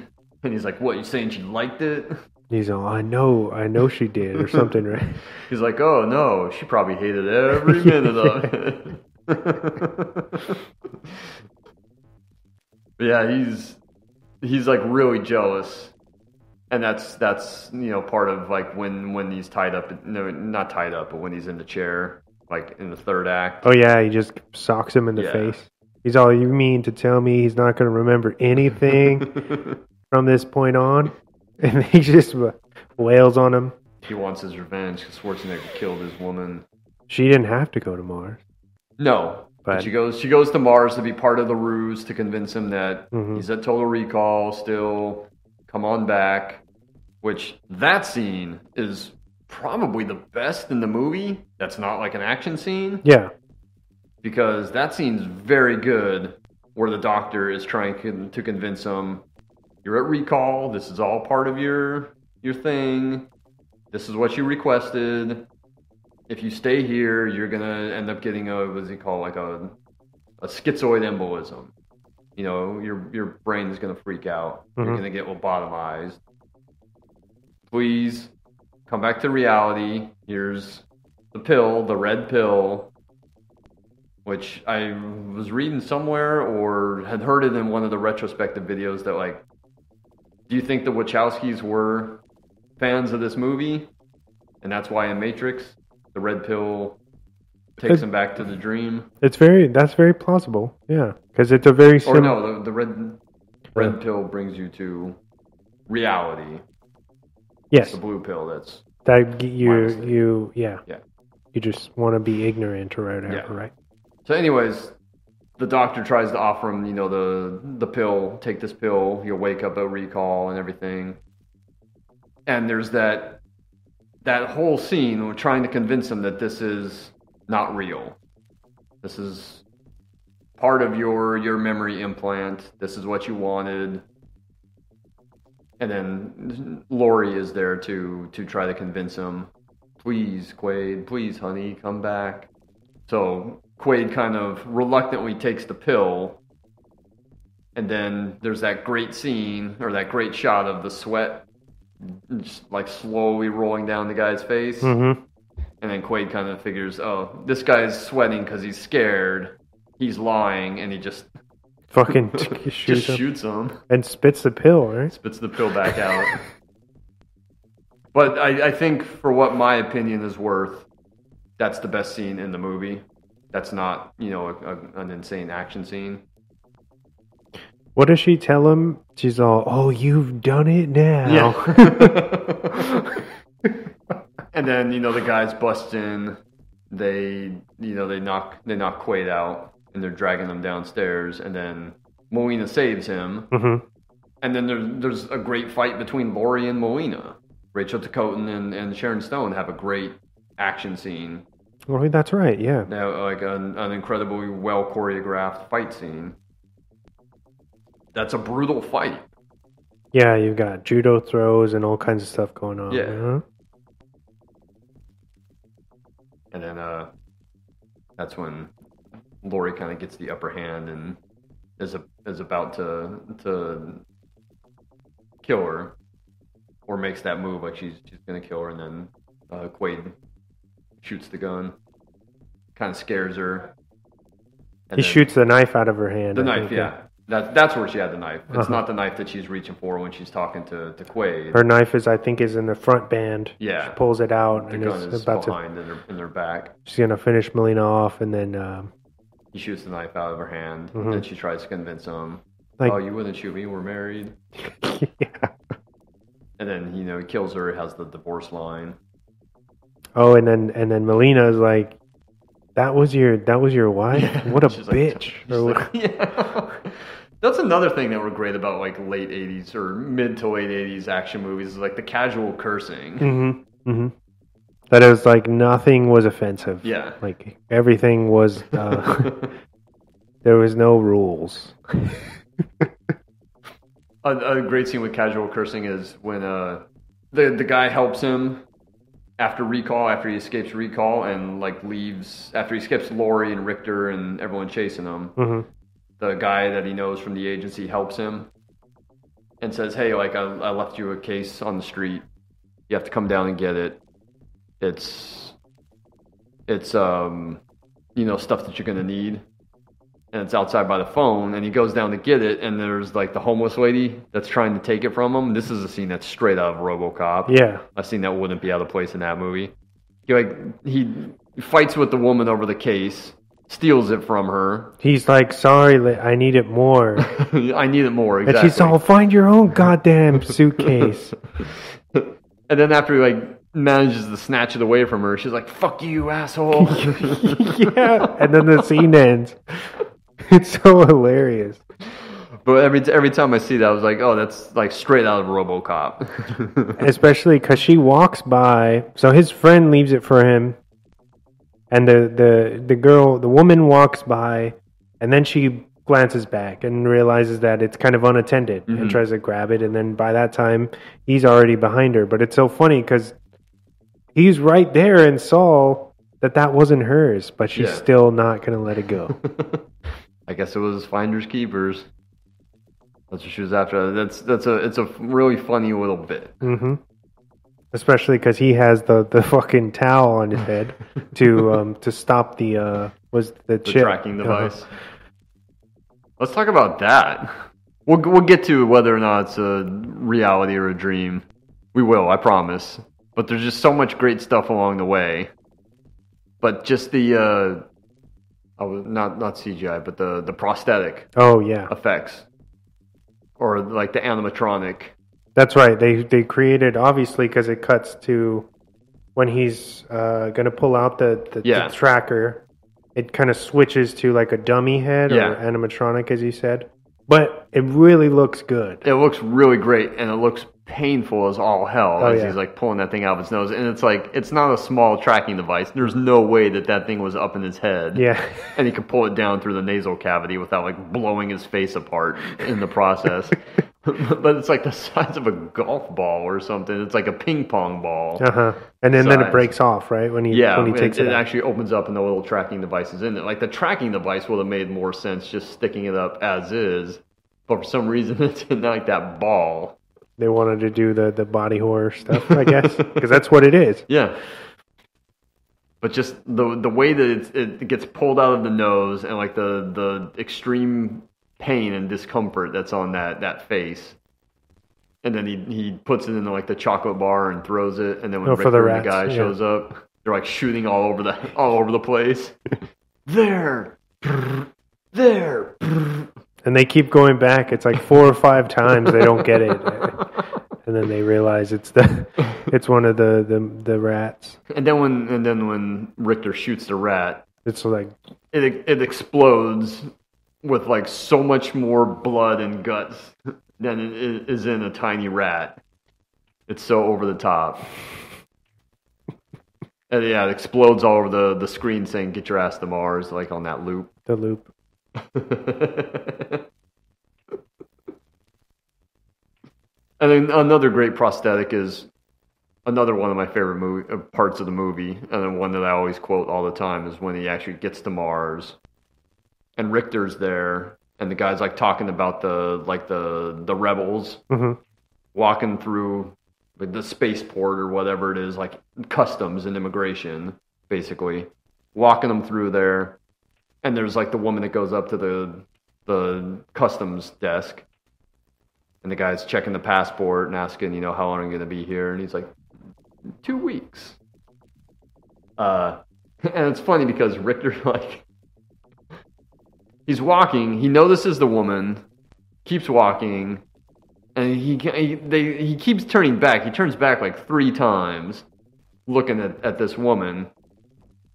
And then the guy at the desk says, "You know, are you carrying any contraband or like fruits and vegetables, something like that?" She's like two weeks. And then two weeks. So I beg your pardon. uh, by the way, that woman was an acting teacher in San Diego. really? Yes. Yes, her name was Priscilla Allen. She lived in Los Angeles. I swear to this day, someone who looked just like her would come in to where I worked before, like in the mid 2000s, look just like her. Mhm. It wasn't her, given the name, because we knew the name of the person. But every time we saw her, we were just like, two weeks, because she looked just like her. uh, Priscilla Allen. Unfortunately, she passed away in 2008, but she was from San Diego, or at least lived in San Diego for the better part of her life. Shout out to her because she's incredible in that little bit. Yeah.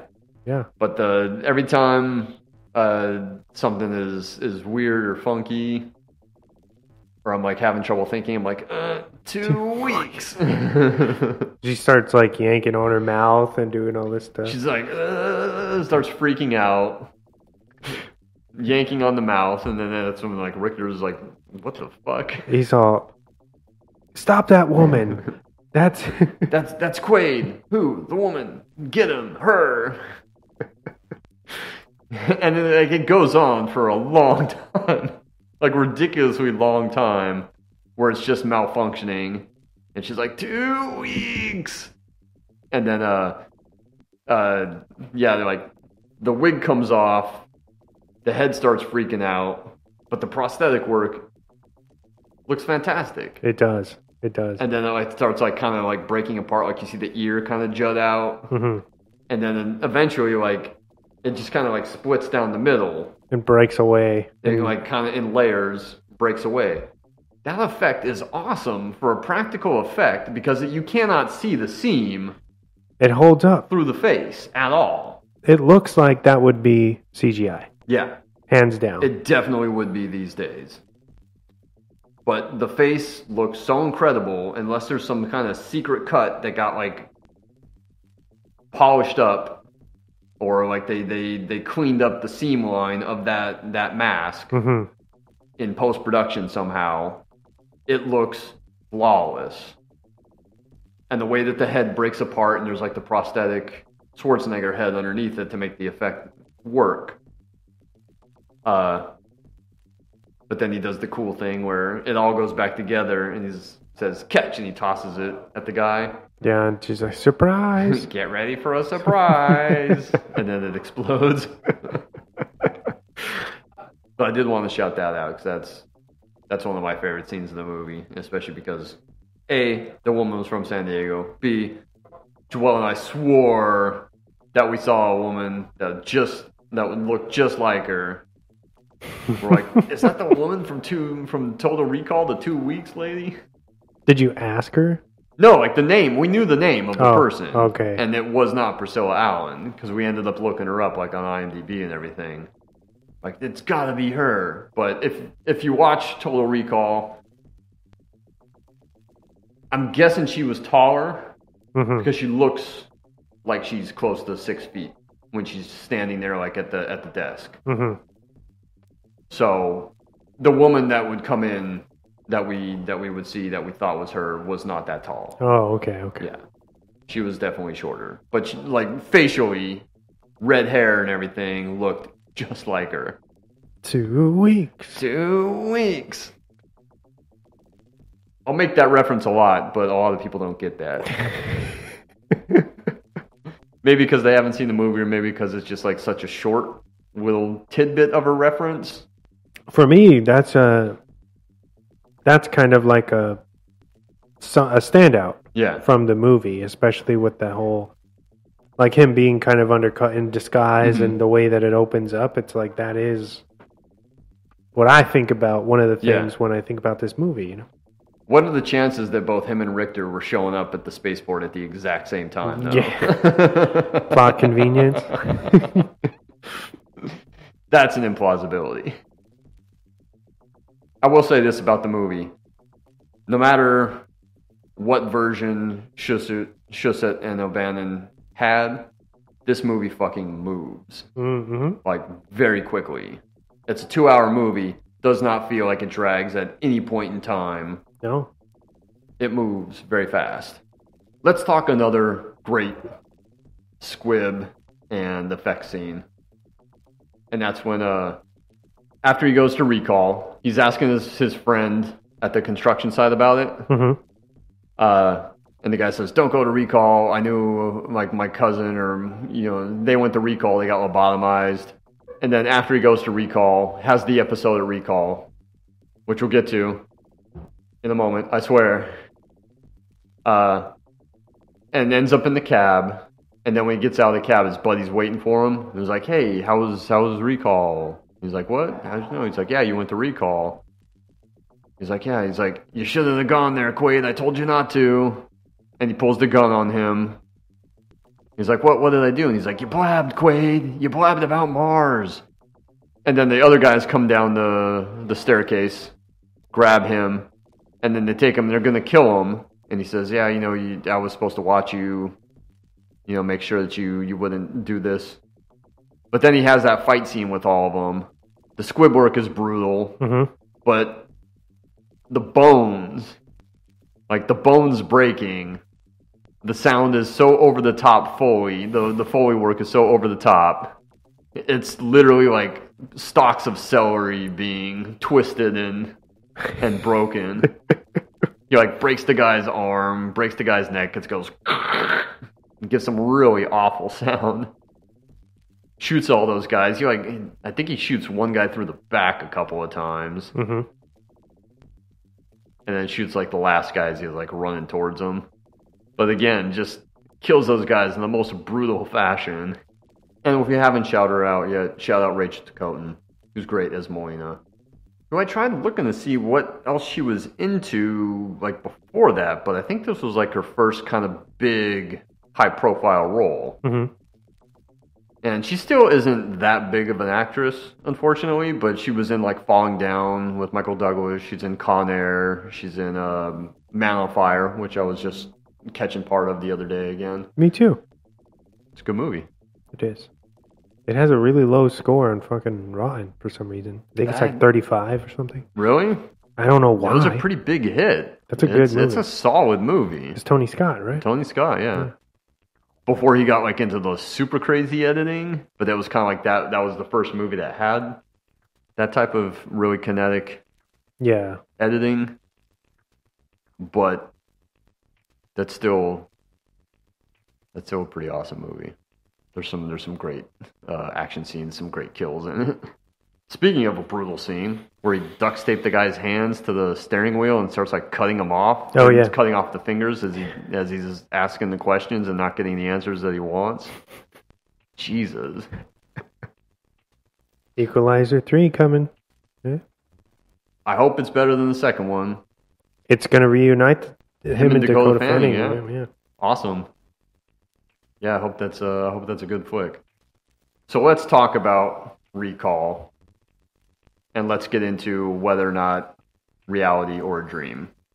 And from my understanding, Verhoeven left it purposefully ambiguous as to what's is this reality or is it just part of the recall memory implant. And that largely has to do with how the, the movie ends. Mm-hmm. Where the, don't they directly say, I don't know, is this a dream, pretty much? Mhm. Um, and then it just, the titles roll, or the credits roll. Yeah, So, but it's it's deliberately left like that.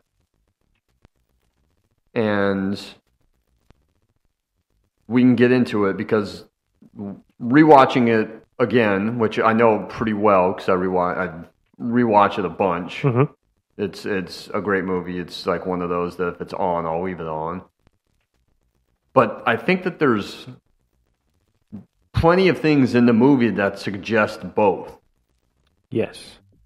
But I want to point out, in just in case you you forgot, but yeah, just before we started recording, we were Mhm. having a little discussion with uh, our friend Vic or Atlas, and and you pointed out that um, if it is a dream or Quaid's dream, then why are they having why are they having scenes with these other characters who essentially maybe don't really exist yes without Quaid in the room, yes right?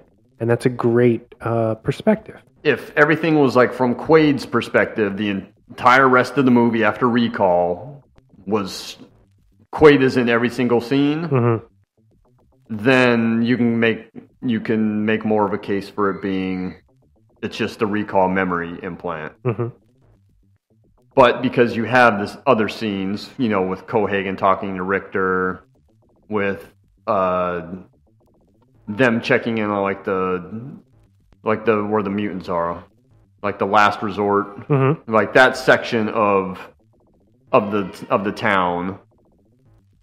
You know where the Cohagen cuts off the air because he's trying to smoke out Quaid and, and Melina. Mhm. Uh, you have those scenes. Uh, there are other scenes from other points of view, so I don't. I think that that kind of makes the case that this is reality and not a dream. But, however, I mean, we've talked about Doctor was it Edgemar, the Mhm. one that comes to see him on Mars to try to convince him. Mhm.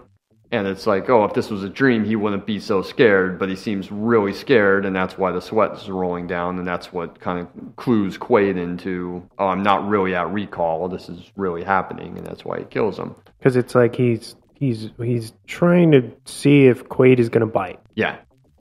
and he gives himself away essentially. So But at the beginning, when he does go to recall, as Vic pointed out, the guy says, oh, like, you know, great to see you, hmm but Quaid says, oh, nice to meet you. hmm But does that indicate that the doctor and him have met before because he's been to recall before? And also, like when they're loading up his his memory implant, or even when the doc, even before that, when the doctor is selling him on it, he's talking about, you know, you can go to Mars, you can be the secret agent, you you defeat the bad guys, save the planet, get the girl, all of which happens at the end of the movie.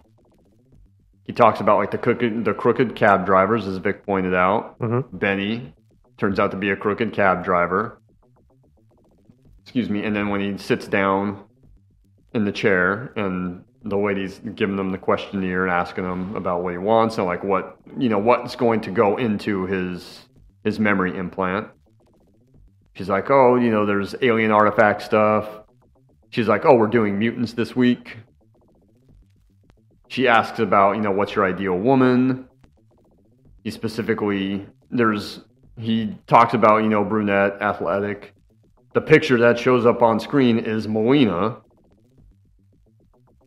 And then there's the, you know, the guy's like, oh, Blue Sky on Mars. That's a new one, hmm which is what happens at the end. So there's all that stuff in the in the very beginning when he goes to recall that would indicate that everything in his that he answered questions to and everything that uh, is set up for his implant is what happens at the end of the movie. But then there's those other there's other things, the other points of view, the doctor being really freaked out and sweating, where it's indicates this is probably reality. So, is there are there any other things that indicate reality that indicate a dream to you that I'm missing? Those are the big ones that stand out to me. Is everything at the beginning at recall? I mean, uh, when he starts struggling in the chair that first time at the at recall, he he literally says like, "I'm my name's not Quaid," Yeah, right? Um, I don't know. That's a good question. I would probably have to give it, even though I just watched it twice in preparation for the show. I'd probably have to watch it uh, again with that mindset Mhm. of looking for the clues more so. But I think we did. You covered the big ones. Um, besides, like the uh, like we said, like the end, where why are they telling the story from multiple points of view if it's just Quaid's dream, which is a good, um, it's a good argument. Could be plot holes, or or intentional. yeah, Which I think, like you said, Verhoeven said he went on record saying that he intentionally did it to be ambiguous. and- yeah. The way that the movie is made is it could be either or. Mhm. Maybe it's up to you. almost uh, like a precursor to Inception. We don't know, Yeah, and maybe that's for the better. And that's fine. You don't need to know. I really don't care. I don't know why some people get so fucking upset about the top at the end of Inception, and you're just like, oh, it doesn't tell us if it's real or if it's not. And it's like, does it matter? Does that make the journey any less? Yeah. And at the end of the journey, DiCaprio is exactly where he wants to be, so it doesn't really matter, and it doesn't matter to him. hmm But we're not here to talk about Inception. We're here to talk about Total Recall. And also, again, I don't think it matters. It doesn't. I'm like I don't. I'm not frustrated at the end of the movie trying to figure out if this was real or if it was a dream. It's a fucking kick-ass movie. hmm It doesn't matter to me. And if that was a dream, I wish I had dreams as fucking awesome as that. And that. vivid and basically restoring life on on Mars. I usually get killed in my dreams. Do you really? Yeah, quite a bit. Do you wake up before it happens? Yeah, Okay. or like at the time, at the at the moment of yeah. Uh, I was just talking with Joel about this. I think around Fourth of July, we were hanging out on the Fourth of July, and we were talking about that stuff, and it was kind of like, oh yeah, because I used to have like zombie dreams all the time. Really? Yeah. Not, and they were like the fast zombies too. They weren't like the slow. They were like the 28 days later type zombies. And I got killed so many times in those dreams. it, it, it's an interesting debate and one that I never really thought about until you know later on. You know, watching it when I was what 10 or 11 years old or whatever. Yeah. You're, you're too young to really get that. And I don't know if that was a huge de- part of the debate at that point in time hmm or if it's something that kind of came about later on as you know more people were watching it and able to rewatch the movie over and over and over again if that debate came about you know later on or if that was something that happened at the time of the release That could be a great segue into kind of the negative reviews because I know when this did come out, even though it was, I feel like the audience we dug it, but critics were very kind of polarized. it was very yeah i got it was very mixed ratings right. mixed uh, reactions Even with our good friends, uh, uh, uh, Ebert and um, Sis- Siskel and Ebert? I think uh, Ebert really loved it. Siskel li- liked it, but said that he, he thought that the they could have scaled back the violence, right? If I'm if I'm remembering correctly. Ebert considered Schwarzenegger vital to the film's success, praised his willingness to play against his usual action persona. But here, Gene Siskel and Peter Travers. Uh, Peter Travers wrote for Rolling Stone. Yes. Okay.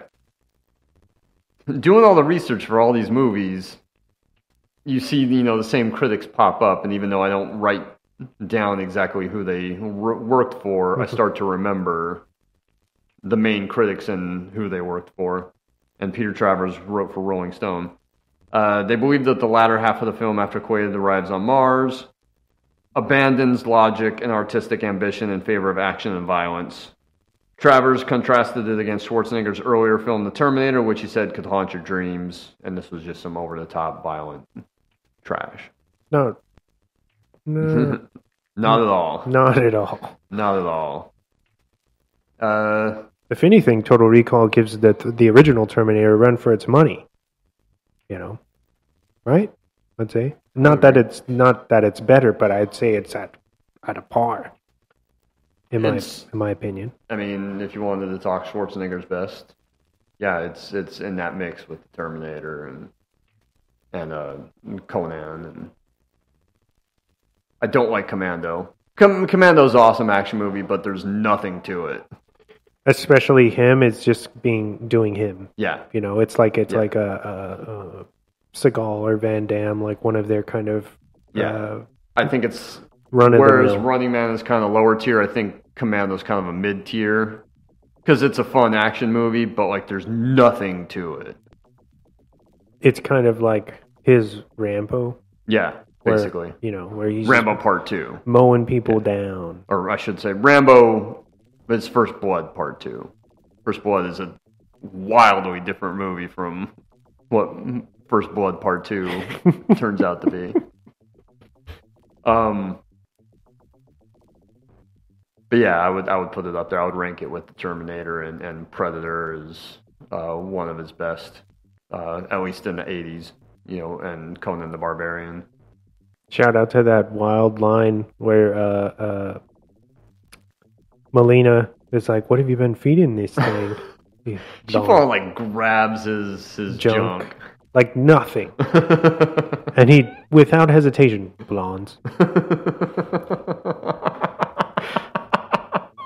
Hilarious, and his delivery yeah. amazing. uh, going back to the recall scene in the beginning, uh, another uh, a scene that I really like in the way it's done is there's like the sleazy salesman. hmm He sells him on that. And then you cut to Quaid in the chair getting the getting the package, and then it cuts back to him like trying to smooth smooth talk like some some woman into some other package. And then you just see like the video phone. You see the woman like freaking out on the video phone, the, like the technician in the the memory implant. And then when the way that that's shot, I like that you don't see him freak out immediately. You see like it, it jumps back to that scene like in the middle of it where she's saying something went wrong and then he he goes running out of his office down the hall Mhm. and there's like Quaid like full on freak out mode going crazy saying that he's Hauser. They finally sedate him.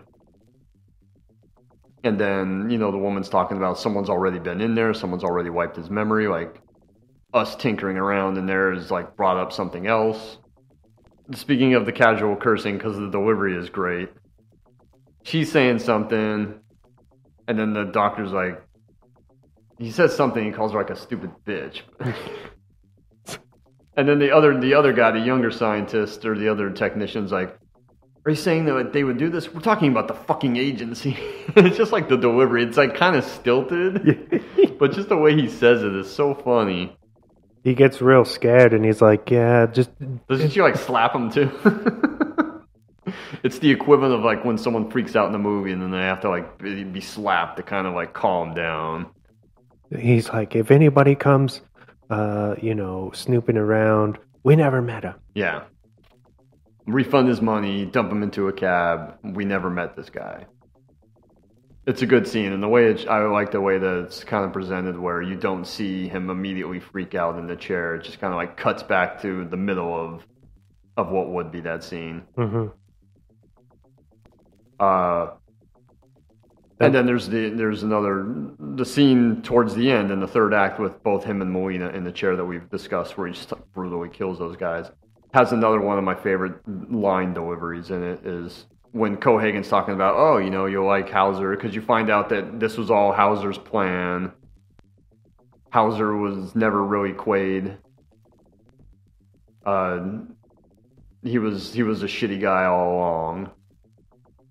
And then Cohagen's talking to to Quaid, and he's like, "Oh yeah, you you like Hauser and everything and all that." And Schwarzenegger's like, "He's a fucking asshole." the way he delivers the line, and then immediately he delivers that line. Immediately, Ronny Cox is like, "Not true. He's one of my best friends." Just the way that that that both those lines are delivered always make me laugh. He's a fucking asshole. Not true. he just like immediately. Or the Ronny Cox when, he- God, what's the exact line when he's all, I could destroy this planet and be back in, uh, in my office in time for cornflakes. yeah. Living in the future on another planet, and you're still having cornflakes for breakfast. he was so right. There's some great quotable lines in that movie. we didn't talk about another brutal scene where the squib work is pretty pretty impeccable. Is when Richter and his buddy go, they're chasing after Quaid and Molina. They end up in uh, the last resort area, hmm and then they won't tell them where Quaid and Molina are. So they just start like executing people. Oh yeah, that one lady, uh, the escort with the, uh, she has like three breasts. And she's like, "Oh, you want to have a good time?" And you know, Ironside is like, or Richter is n- not interested. He's just like, "Where, where did they go?" And she's all, "How should I know?" And she like turns around to like walk away from him, and he just fucking blasts her. Blast her in the back. Yeah. And then it's like you know, it sets off of this this fight chain reaction, and they like move towards the door, and he's just like kill them all, and all of a sudden like all these like just more innocent people are just getting mowed down. and they also the you know the civilians pull out Yeah, weaponry and just Yeah. start taking everybody. the the uh, the female little person Oh, like yeah. jumps up after she like brutally like stabs the dude in the gut, like Richter's Richter's number two. Kills him, right? kills him. I think they cut. That's probably like a scene, another scene that got trimmed because it cuts like right before she sticks him, and you just kind of see his reaction hmm to getting stabbed. But just like the way she she moves towards his stomach with that like ridiculously like long hunting knife, sticks it in his gut, and then Richter's like kill them all, and then everyone's getting killed. She jumps up on the bar like it's like a machine gun and starts like shooting everyone else. And you just see Richter just j- dive through the window. and they actually seem like they're losing, right? They're retreating, and then Well, they're outnumbered, and you know, yeah. tells them like, "Get out of there." "Yeah, get out of there." And he's like, "Oh, don't you want us to get him?" And he's like, "No, I'll just cut the air off to the section." You know, either they're going to give him up because they want the air, or you know, everyone will die anyways. I don't know if this matters or not, but do you think if Richter hadn't been kind of rebelling against Cohagen, would he have lost as many people? You know, Mm, if he was, he, he kind of goes against what they want. Yeah. They want him alive, and he's just like, "Fuck that!" yeah, Like I'm, go- I'm going after he's like a zone. Yeah, because Cohagen says, "If I wanted them dead, I wouldn't have dumped them on Earth." hmm But then, like Richter's got his own agenda. He goes rogue. yeah, he goes rogue, and then probably stems from the the Lori thing, hmm both before and after her death. hmm you know, he's he's upset that uh, she that Quaid had slept with her, even though he obviously knew that that's was the assignment that was probably going to happen. Also, is it a dream? Quaid dreams about Melina in the very beginning when the when the movie starts out on Mars. Another big, a cool thing before I, uh, I don't want to forget this, but the um, the foreshadowing of the hologram Mm-hmm. is amazing because he gets the he gets the hologram when he gets to that when he first watches that transmission, and then you kind of forget about it, and then in the film's conclusion, when you think, uh, you know, Quaid has been outnumbered and they're blasting him, you know, uh, Richter and all of his goons are just like what should be turning him into mincemeat, Mhm. and they're like get super scared because it's not their bullets aren't affecting them and you see like the cutscenes of the guy the soldiers like looking at their weapons confused. And then quaid or the hologram just lets out this he just starts laughing uncontrollably. And then of course richter figures out like he's got a hologram. And then there's this great kind of that that uh fight scene And then he like pops out from around the corner, like blows all these guys away. he's all i don't know I, I, I, am i the hologram you am guys the- think this is you guys think this is the the real Quaid? it is. Mows all these guys down. The, the- you were talking about the hologram when he first gets it. There's the the great little bit where he puts it on and then he sees like someone in the corner of the warehouse And he tries to ends up shoot him. You know, Yeah. shooting at him, and then he you know doesn't hit anything, and he kind of is wondering what's going on, and then he kind of comes around the corner and recognizes himself, and he does the cool little mirror trick with the gun where he kind of waves it back and forth in the air. yeah Yeah, that's a that's a good bit. The hologram bit is cool, and the hologram effect looks cool too. it does it does So he, speaking of the end, he and Melina have the fight scene where they're they're killing the, the soldiers, Richter's guys. Uh, they kill Benny at that oh. point when a, when an, another brutal scene. again he kind of asks for it Benny was a turncoat. He was a mutant that turned against his own. Was working with Cohagen. His his little effect where we he reveals that he's one of them, a The mutant, arm. is is awesome. Yeah, It looks so cool. He's got the the you know oh I got I got five kids to feed and then they catch him in the lie because he like- says- he's like oh I got four kids to feed and they're like oh I thought it was five he's like oh shit you caught me He's like, I'm not even married. oh man we're skipping over so much but we can't do like a five hour episode but I mean Quato we should talk about Quato who's the mutant leader hmm which no one knows what he looks like. And then even when the guy who's you who's you you've seen in the movie once or twice up to that point uh reveals himself.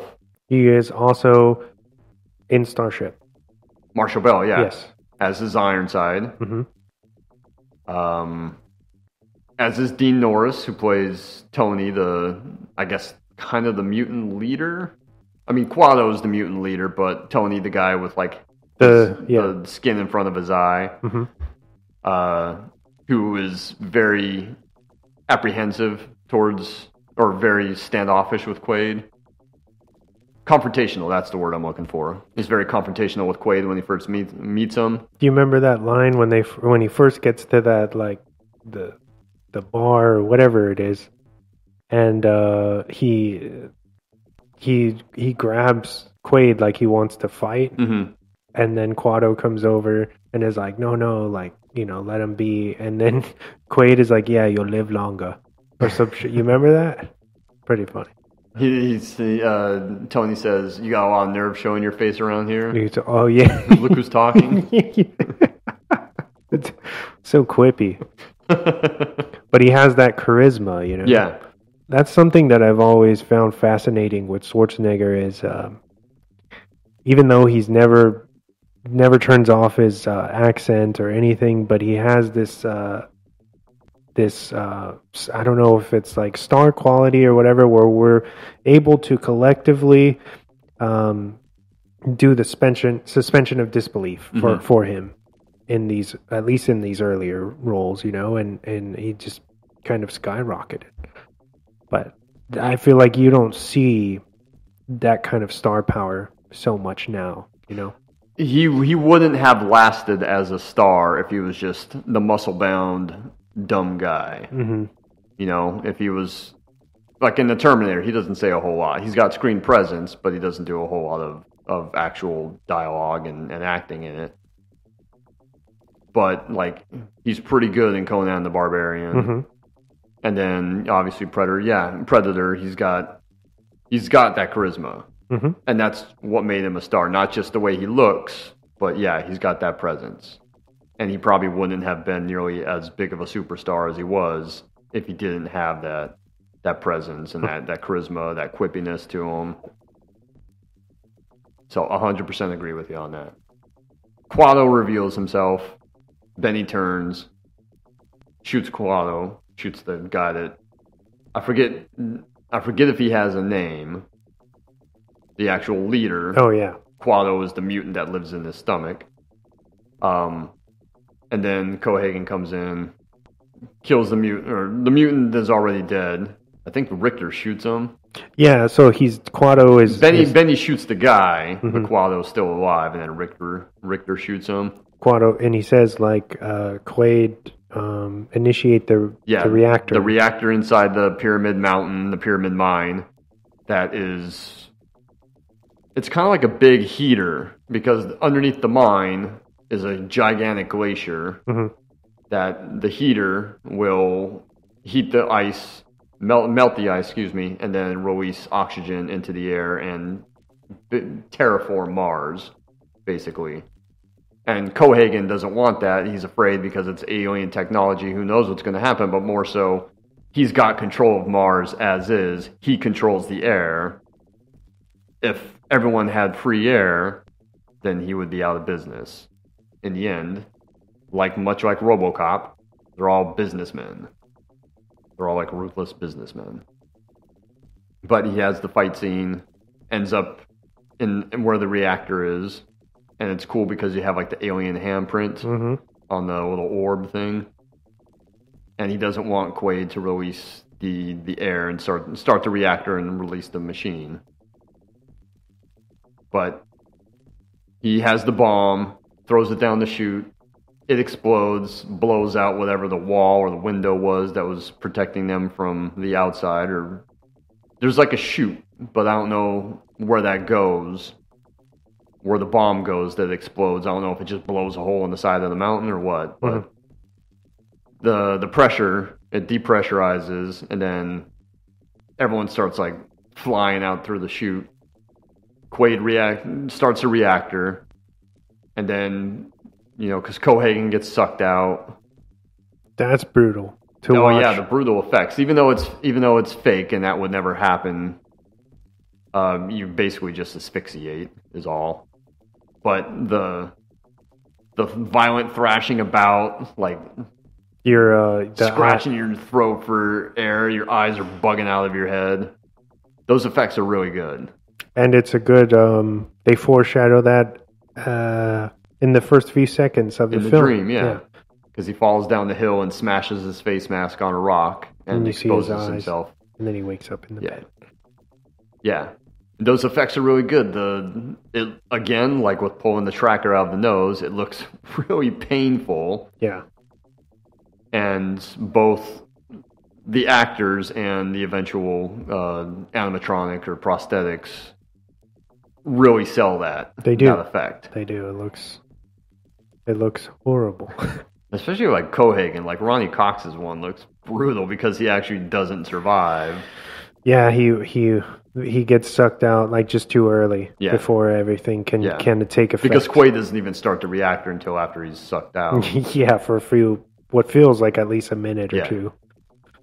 And then, you know, he starts the reactor and, and, and Quaid and Melina are sucked out and Mhm. the same thing they start to asphyxiate where Cohagen was blown out into Mhm. outside and then um, the uh, how do you say like the atmosphere is taking kind of taking Yeah. hold and they they are able to survive and effectively save everyone right Yep. He saves the planet. Mhm. The blue skies on Mars. Mhm. Gets the girl. hmm Is that a dream? Because that's exactly what the guy said was going to happen at recall. And as you said, you know, he says, "Oh, I just had this funny feeling. Like, what if this is a dream?" And you know, the last line in the movie is, "Then kiss me before you wake up." hmm and then it doesn't fade to black, it just kind of fades to white. But again, I don't think it really matters. The movie fucking rocks. Don't question it. Take it for what it is. Yeah. Before we get into the other stuff, shout out Jerry Goldsmith because the Goldsmith score fucking is awesome. It is. It It's is. re- especially the main title sequence over the the opening credits is really fucking good. That's something I missed in my write up, so I'm glad you brought that up. Yeah. The music, definitely check the it la- out. The late Jerry Goldsmith scored Alien, Mm-hmm. good score. Star Trek: The Motion Picture, not a great movie, great score though. And then Poltergeist, which you and I have discussed. Mm-hmm. Gremlins, which we're both big fans of, which I know you have discussed on the show before. I have. Uh, by the way, uh, considered one of his best scores, but here's my notes. Originally, the producers had wanted him to score the film in Munich, where musicians could be hired for cheap, but the resulting score was disappointed. So the producers managed to get the money for Goldsmith to record in London. Recording sessions were put on hold for three months while Verhoeven completed special effects work on the film. In that interim, Goldsmith is able to score Gremlins 2 The New Batch, which comes out that same summer. Great movie. Mhm. Batshit movie, but it's so much fun. But he's able to score Gremlins 2, and then he returns to finish Total Recall, because the two of them opened up within about two weeks of each other. Oh, here, here was my thing on the trailer. TriStar Pictures, who distributed the film, released an early teaser that presented the film in a vague, dramatic context, which tested poorly with audiences. Feeling this made the movie look cheap, Schwarzenegger contacted Peter Guber, who was the new head of TriStar, new head of TriStar's parent company, which was Sony. They were they were the head of Sony. Uh, had a third party company come in, cut a new trailer which focused on the action and special effects, and then that trailer again gains a lot more hype. If that's the trailer I watched online, that's the one I felt gave away too much of the movie. It does focus on the action, but it kind of it doesn't like give you the whole plot, but it gives away tons of really great stuff that you'd probably be better off not knowing about. but I guess Schwarzenegger wanted people to come to the movie and decided to show him like a ton of action scenes and a ton of quippy lines. But you basically see like Lori's entire character arc in that movie in the trailer, including her death. Dumb. Yeah, I agree, dumb, but apparently it, it got the movie a lot more uh, hype and a lot more uh, people interested in it than the actual teaser. I want to say it's probably 94, 95. Um, when I was, because I was raised, I've said this Mhm. a bunch of times on my on on the on the show, but I was raised by my grandparents. Mhm. when I was uh, like a younger kid, um, my uncle and his family lived with us for a, a period of time, maybe a couple years, Mhm. and I ended up getting this uh, uh, tape, this tape uh, with three movies dubbed, and I can remember this vividly. It was Friday the Thirteenth, Jason Takes Manhattan, Total Recall. Where he punches that guy's head off. Yeah, you remember that on the roof. Total Recall, and then uh, Kickboxer. Ah. Yeah, and I had that tape for years, and and that was my first um kind of uh, exposure to Total Recall, Mhm. and and and sci-fi like hard edge sci-fi like that or whatever. And I could remember always watching those movies back to back, um, and I don't know.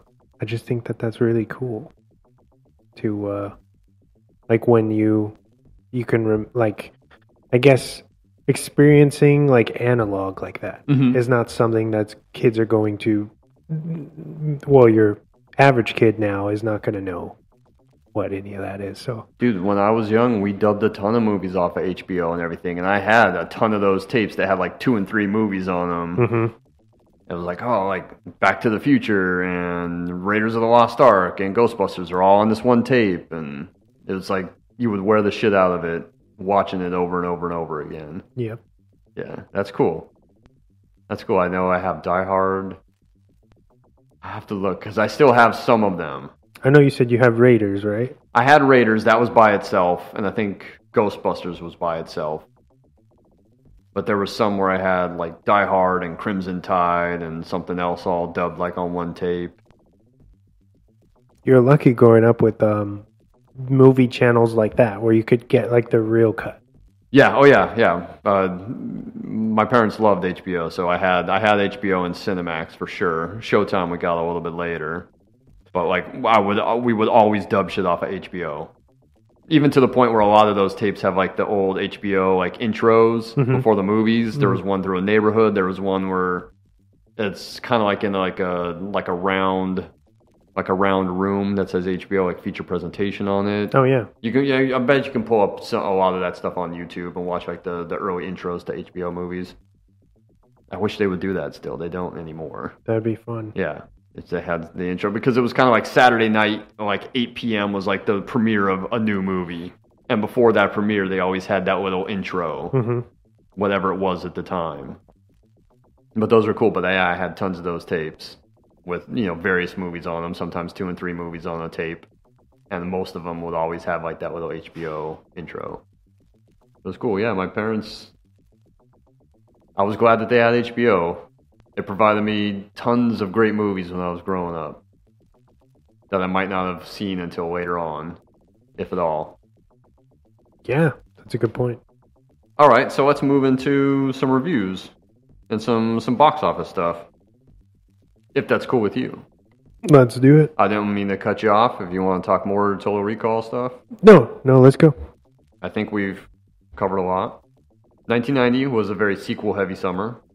Uh, Dick Tracy came out that year.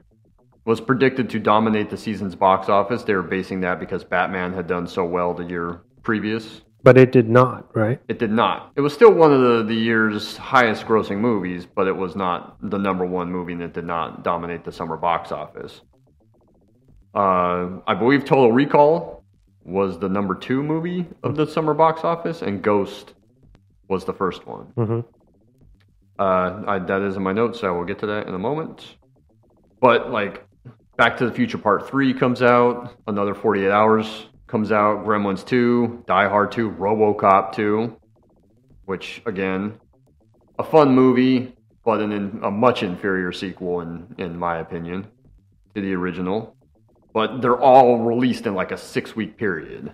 Basically, they all those movies come out. And Total Recall was supposed to originally release on June 15. hmm That was the same day that Dick Tracy was opening up. They moved Total Recall up to avoid competition with Dick Tracy because Dick Tracy was expected to do very, very well. They move it to June 1st, finishes the top of the box office with $25.5 million, making it the highest grossing opening weekend of the year, period, and definitely the highest grossing R rated movie of all time at that point in time. Do you know the movie it narrowly beat out for the highest grossing debut? Is it the original Ninja, Ninja Turtle? It is. Yes. uh, which debuted to 25.4 million back in March. I'm sure you're aware of this because you're a big fan of the movie and you know the Turtles lore. But for those listeners who don't know this, Teenage Mutant Ninja Turtles was essentially an independent movie hmm that was released by New Line, which was still kind of a small company that was basically only Nightmare on Elm Street movies at the time. It was like an out of nowhere hit. No one expected it to be a huge hit. And at the end of the year, if I'm going to skip ahead here, it's what like the the third or fourth highest grossing movie of the year? Fifth, excuse me. The fifth highest grossing movie of the year making 135.3 million in its, its run. That was crazy. I watched it, it came out in March. I saw it closer to Memorial Day because it was still playing in the theaters. I remember my dad taking me to see it. hmm But it was like a, this crazy hit, like that was kind of out of nowhere. No one, no one thought that it was going to be that big of a movie, and it was. So, little little bit of historical trivia for you. We talked about the Total Recall getting mixed reviews. They liked the production values, even Schwarzenegger's performance, but it's graphically violent. There's action. Um, so that's, as you said, part of part of why it got such mixed reviews is just over the top, crazy violent. But I don't remember RoboCop getting like really shitty reviews. It seemed like everyone kind of loved RoboCop, but maybe RoboCop because it had more of the satire in it, and this was more of a an action movie that was kind of lacking a lot of the satire. Even though you and I both agree that it has Some, yeah. some satire. Uh, Jonathan Rosenbaum, head film critic for Chicago Reader, Reader, wrote that it was a worthy entry into the dystopian genre initiated by Blade Runner that avoided being derivative of its predecessors. That's a good review. Um, and as they would, they unfortunately compared it to RoboCop, saying that Total Recall lacks the satire that RoboCop had and they didn't do enough in the film to kind of establish the Quaid and the Hauser persona as being totally different. But it's really Quaid's movie. hmm You find out Hauser and you kind of see him on, you know, the the video stuff. But it's really told from Quaid's perspective. And then, of course, they have that big kind of uh, reveal where Hauser was in bed with Cohagen. Yeah. Right? Yeah. Because when he first finds out that he's Hauser, it's like, you know, I have to become, I had to become Quaid because I know a lot of shit, um, you know, up here that can fuck Cohagen good. hmm And that's why I had to become Quaid and, and disappear. But yeah, later on you find out that Hauser and Cohagen were, In cahoots, yeah, so to speak. yeah. They also think that Schwarzenegger is out of his depth as an actor. I disagree in this movie. And he failed to generate any believable chemistry with both Sharon Stone and Rachael Ticotin. I can kind of see that, but that's kind of a nitpick for the type of movie that it is. Uh, I mean, you don't buy the chemistry. Like in the first few minutes, the remember when Sharon Stone is like, uh, "I'll give you something to dream about" or Yeah. whatever. Like, I buy that. I don't. I never had any issues with it. I don't have an issue with it. I think he has more chemistry with Ticotin than he does with Sharon Stone, but he I- also has more. He spends more time with Ticotin too. Mhm. I agree. He Yeah. only he only has a couple of scenes with Sharon Stone. Yeah. that aren't him getting his ass kicked by her. All right, as we plow through the rest of my notes. Uh, blah, blah, blah. Everyone knocking the excessive violence. I'm not going to get into that. Shusett and Goldman, unhappy with the final cut. They believe it to be too long, which I don't think it's too long. Like I said, the movie fucking moves. Uh, and it's also too profane and violent. This movie had a very rushed post production. hmm Uh, so they really didn't have time to test it, screen test it. Yeah, they did zero. Yeah. Right? Which uh, that's when you kind of fine tune your movie, but at the same time, like if you know the type of movie you're making and want to make, don't let the audience like form it into something else. Because Lots of good movies get fucked up that way. Yeah. They're notorious. Like, there's a lot of test audiences that are notorious for saying, like, this is garbage, and then it ends up being something completely beloved. you I mean, later we on. talked about this last year with Summer Sci-Fi with Blade Runner. hmm The original cut gets fucked up because of test audiences. hmm When the director's cut, how it was originally, was far superior. It's a slippery slope. Yeah. Uh, Cronenberg does think that Schwarzenegger was wrong for the role. I think he's got more say in the matter because he was a part of the movie for so long and, you know, almost made it. But it's the second highest grossing movie of the summer behind Ghost. And Total Recall is the seventh highest grossing movie of that year behind Home Alone, Ghost, Dances with Wolves, Pretty Woman, Teenage Mutant Ninja Turtles, a movie that gets mentioned on this podcast a lot that you and I are going to end up doing, The Hunt for Red October, which Mhm. was a big hit. Uh, Dick Tracy ends up grossing 103.7 million, making it the ninth highest grossing film of the year. So it was still in the top 10. I like Dick Tracy. I think the Danny Elfman score rules for that movie. But it didn't turn out to be as big of a hit as Disney thought it was going to be. Mainly because Batman has a lot more pop culture. Dick Tracy was already kind of an old property hmm at that time. I like the movie a lot. But yeah, it's not it's it's not nearly as good as Batman is. Though figures are unavailable outside of the United States for the time, it's estimated to have made an additional 142 million overseas, giving it a worldwide worldwide gross of 261.4 million, making it the fifth highest grossing movie of the year worldwide, behind Dances with Wolves, Pretty Woman, Home Alone, and Ghost. By the way, Pretty Woman was another like crazy success. No one expected that movie to be as huge as it was. It's a kind of a cultural milestone, right? Yeah. Yeah. Yeah. Does get nominated for three Academy Awards. Visual effects, sound and sound effects editing, it wins for visual effects. Awesome. How why it wasn't nominated for makeup, I don't know. But I'd have to go back and do the research and find out what else was nominated for makeup that year, or even if that was a category at that point in time, mm-hmm. because it might not, it might not have been. We we talked last year. I think this is funny, and hopefully for our next show we can we can pull this too. Named the best science fiction film of the year by the Saturn Awards, which we talked about with Twelve Monkeys. These are the other movies that were nominated that year. This list is a hell of a lot better than what was nominated against Twelve Monkeys, with the exception of Strange Days. Uh, the Abyss, Back to the Future Part 2 and 3, so I don't know what their window is because Part 2 came out in 89, Part 3 came out in 90. So I don't know what their what their window is. Bill and Ted's Excellent Adventure, Flatliners, Honey I Shrunk the Kids, RoboCop 2 and Tremors. Wow. Good company. Yeah. But I think that with the Saturn Awards, they don't have like a strict, you know, five movies can be nominated. I think it's just kind of like anything that's kind of vaguely sci-fi for the year.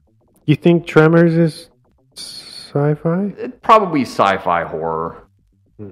I think it's more of a horror movie than a sci-fi movie, but again, I guess think the they're just- graboids is the sci-fi element. I guess. I mean, Honey, I Shrunk the Kids and Flatliners, I wouldn't necessarily call sci-fi either. Yeah, Honey, I Shrunk the Kids because he's a scientist. I guess Mm, They have maybe some sci-fi elements to them, but I wouldn't necessarily go sci. Bill and Ted's Excellent Adventure because of the time, time travel. Yeah, Okay. But again, I wouldn't say that's a sci-fi movie. No. I look at that and say that's a comedy. Mhm. What do I know? It's just like vaguely sci-fi-ish. So here's what happens with Verhoeven. Basic Instinct comes out a couple years after that. Uh, makes Sharon Stone a megastar, which she was already on the rise, as we talked about.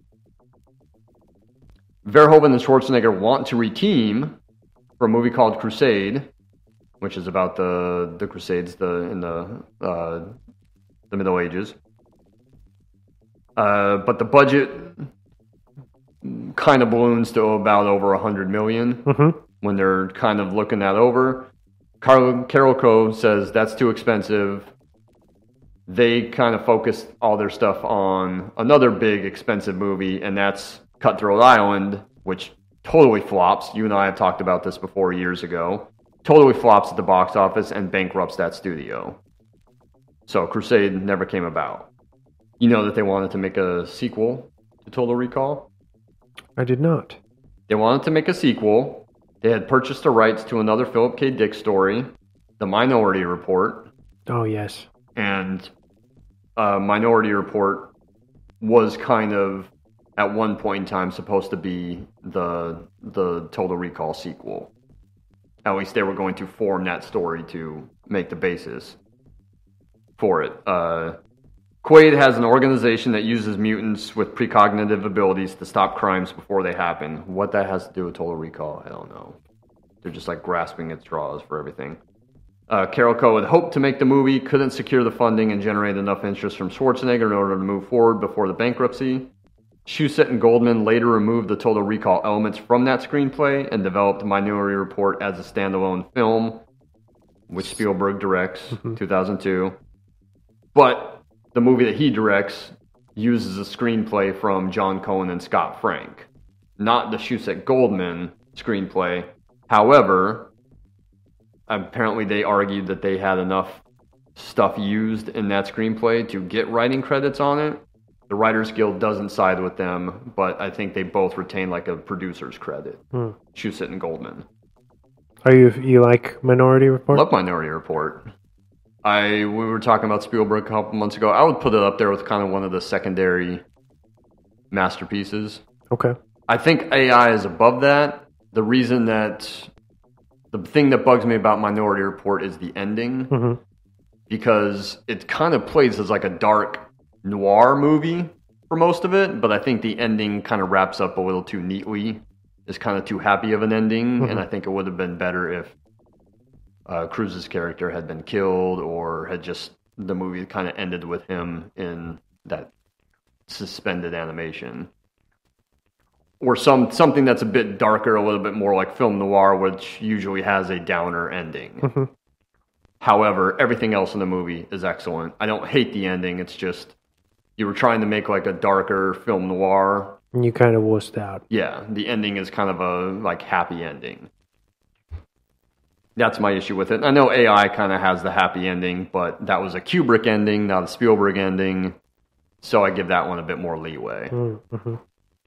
But basically, at the end of that movie, he gets what he wanted, which was to be loved and be treated and felt like a real boy. So that I think that works better for that movie than the ending to Minority Report works. During Carolco's bankruptcy auction, Dimension Films, famous for producing Scream and some of the The faculty. the faculty, some of the the um, from Dusk Till Dawn is Dimension. They purchased the rights to Total Recall for three million. Began to develop a sequel with the intention of bringing back the principal cast, but they didn't want Verhoeven as a director. Schwarzenegger is actively involved in the development of it, and Shusett and Goldman come back to write the script. He believes it to be overly complicated. Excuse me, that was me dropping my pen, which I haven't used once, so I don't even know why that's in my hand. They like the script. They think the budget is too high. It's like uh, I had the the plot line written down. If you'll bear with me, depicted the destruction of Mars in order to save the Earth from a bomb in the sun. It just kind of sounds like a huge, huge budget movie. Dimension Films was kind of a lower tiered, budgeted uh, company. Mm-hmm. Indie kind of. Yeah, kind of an indie. They liked the script. They thought the budget was going to be too high, so they wanted the original screenwriter on it, a guy by the name of Matt Cirulnick, if I'm pronouncing that correctly, to do a rewrite. To do a rewrite, excuse me, to to make it less less expensive and uh, less ambitious. The project eventually is abandoned after a string of costly failures for the studio, and they couldn't really really reach a deal with Schwarzenegger. Probably for the best. Not every movie needs a sequel, guys. Yeah. Yeah. And this one kind of wraps up, and if they had a sequel, then there would be no debate as to whether or not everything was real or a dream, because well, he's back for a sequel. It would give it away. Yeah. Yeah, and none of these none of these ideas for the sequel sounded great. Even the one that tried to fold in Minority Report doesn't sound like a great Total Recall sequel. That's a great standalone sci-fi movie. Yeah. Leave it alone. Yeah. So uh, the rights. Uh, were you going to say something? Oh, I was just gonna say no. Continue. I'll This is my last thing. I swear. All right. because we had talked about this prior to going on air. The rights are eventually acquired by Sony in the mid 2000s. A remake is greenlit like around 2009. They That's do a I was gonna remake in 2012. it is trash. I feel bad because I always like Colin Farrell. It's just such a bland, forgettable movie. Kate Beckinsale too, right? Kate Beckinsale. The reason Kate Beckinsale is in it is because her husband directs it. Len Wiseman is a hack. She's not with him anymore. I don't think so. I think they are split up. because uh, she was with Pete Davidson for a little bit. Yeah. Yeah. Yeah. I don't know when they split up, but after like probably the 20th Underworld movie that they made together, probably had enough of each other. Zing. Zing. I don't know. Fuck, fuck those movies. Len Wiseman's a hack. Beyond Total Recall, the only movie I know he made is Live Free or Die Hard, which is kind of a shitty movie as well. Do you like the first Underworld I don't. at all? Not really. No. Okay, fair enough. I, I kind of like I get the look and everything, but I never was a fan of it. I think it's overly long. Were you like, just watch Blade? Just watch Blade or The Matrix. It's much better. um, that's like the aesthetic that they're going for. Uh, no, I never liked it the first time I saw it in 2003, and then I rewatched it mm, maybe four or five years ago, and just never it just never connected with me.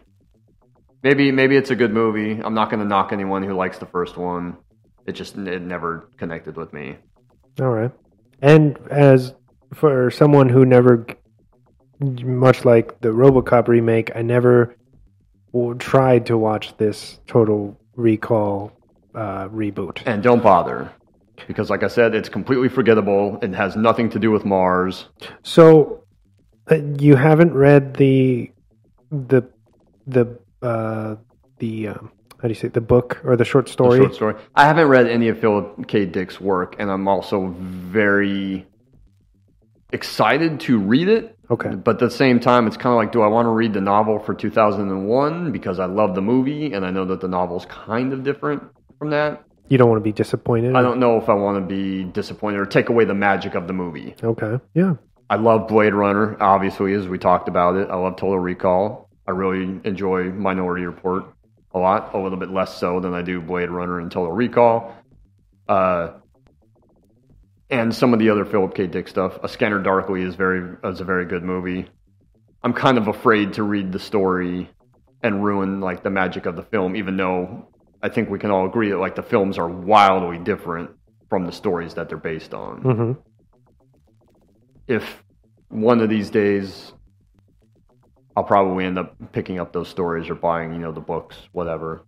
The reason why I ask you is because uh, during my research for the original film, I came across this thing that was saying that um, the remake from Colin Farrell is uh, a more faithful adaptation to the short story, supposedly. It probably is, but with a better script and a better director, it probably would have made more sense. Some of these versions that before we got to the Verhoeven version, Mhm. I'd be in, like I told you, I'd be super down to see a Cronenberg version because it sounded like he was kind of making what the novel was or what the short story was. Mhm. I'd I'd be very interested in seeing that. But you, so you, but you don't agree with the with people saying that um, the reboot of Total Recall would be a good standalone film had it not tried to cash in on the namesake. Possibly, but again, I think its weakness is its script and its. Okay, that's just I want. I'm just trying to Yeah. boil that down. to- Yeah. Okay. It, it might have been decent if it hadn't been Total Recall. I still don't care for it. But also, you really dislike it because of its association with with the original Total Recall, Yeah. right? That kind of the shadow of it. Yeah. Okay. As with sequels, some movies don't need to be remade, guys. Some movies are perfect as is. I don't know who was watching Total Recall and saying, "Oh, I wish they had re- I wish they would remake this movie." It's still so good. It's perfect as is. Why bother? RoboCop, perfect as is. Why they decided to remake it and make it as bland and forgettable as it is? Why? It would be trying to like trying to recreate the term, Terminator 2 Judgment Day. Like Yeah. you're never going to do it. It's a it's a losing battle. And you know, you know what makes them even shittier? Is they're PG thirteen. hmm because no one wants to make an R-rated movie anymore. Especially an R-rated, excessively violent movie.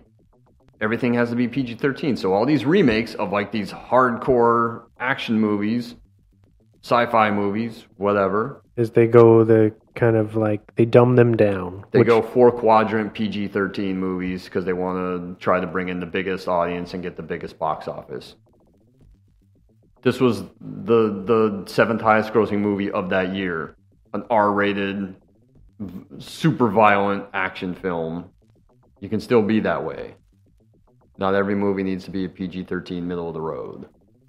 yeah. The RoboCop uh, reboot was PG-13. PG-13 middle of the Ridiculous. road. Yeah. No way. Yeah. Just don't do it. Just don't even make it. Yeah. I didn't watch that. You don't don't bother. Don't waste your fucking time. Gonna close out the summer of sci-fi with a an 80s cult sci-fi movie hmm that was on a list of movies that was going to be shown repertory cult movies during 2020 that I was super excited to see in the theater because I've never seen it in the theater and then the pandemic happened and all the theaters closed and that list that schedule of cult movies that they were going to play got wiped off the schedule. I was really upset. I really wanted to see this movie in the theater. I'm afraid to say more because I'm afraid to give away, but it's an 80s cult sci-fi movie slash comedy. There's tons of funny shit in it. Yes. It's crazy. Good. Yeah. Made by a cult director who's directed a couple other movies that I really enjoy. Had a hand in writing a movie I really enjoy that's a cult movie. There's a. it kind of deals with uh, some subculture, Mm-hmm. and I really dig that about it. And then that's kind of all I can say without giving too much away. But it's going to be a good one. I hope so. I hope so. I hope I can come up with a good title for it. Closing out summer sci-fi. Closing out their second annual summer sci-fi with a again with a kind of a smaller, lesser known movie, but one that's excellent and a lot of fun, even though it's wildly different from the the one that we closed out last summer with. Mm-hmm. Hopefully, we can um, get some people to maybe check this out that hasn't seen it. Yeah. Right.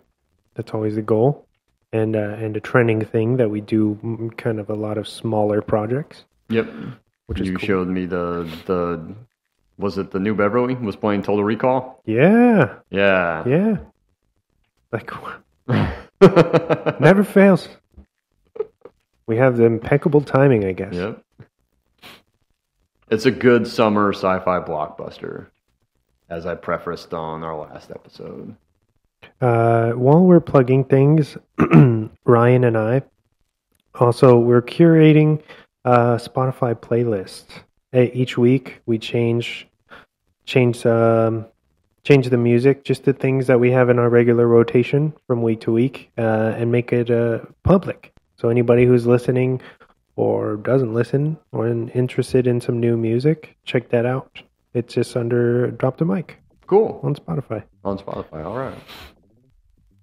Uh, and then as far as our next episode, we will be doing um, for next, technically, yeah, next week, uh, a fiftieth, fiftieth, fifteenth anniversary retrospective on the Dark Knight because it just celebrated Mhm. in July, Mm, I saw a lot of articles talking about it. which is fucking wild. I remember watching, going to that uh, Yeah. midnight screening. Can't believe it's been that long. Yeah. Time flies, dude. But, but yeah, stoked to talk about that movie. Awesome. Yeah. And Nolan's relevant right now, you know. So Shout out to Vic. This is one of his favorite movies. I hope we did a good show for you, bud. listen, Yeah. yeah. yeah. Um, oh, also, I wanted to say shout out, shout out to Atlas or Vic for making some custom uh, tracks just for Total Recall because he loves the movie. Mhm. We always appreciate the um the help with that, and and and uh, so everybody go give him some love. Anything else, man? No, I don't think so. Go hope watch. The end of August isn't as crazy as Oh, the end yeah. of July was, and we can actually be on schedule. Be on time. But It's thank okay. you for accommodating that. Always, man. Uh, thank you for doing this in person. It was such a blast. It is. We're in a really good spot. This is like a good setup right now. Yes. Yes. Maybe we get a chance to do it again in here. we will. We will. um, yeah. So if um, you're stumbling upon this podcast, we run out of San Diego, California, and we go by Drop the Mic. Uh, we are available on any and all major podcast platforms. So check us out. Uh, hit that subscribe button.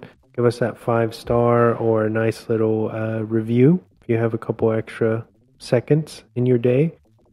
It helps us. Um, it helps with our brand when you, when I guess you're searching uh, for other shows or whatnot. It helps us stay relevant when you do the uh, the rating system for us. So consider that. Uh, we hope you dig what we're doing. Thank you, Chris, for always being such a great co-host. Um, oh, thank you. yes. Thank you for having me, man. It's it's always so much fun. I can never say it enough, but it's always so much fun sitting down and, and talking movies with you.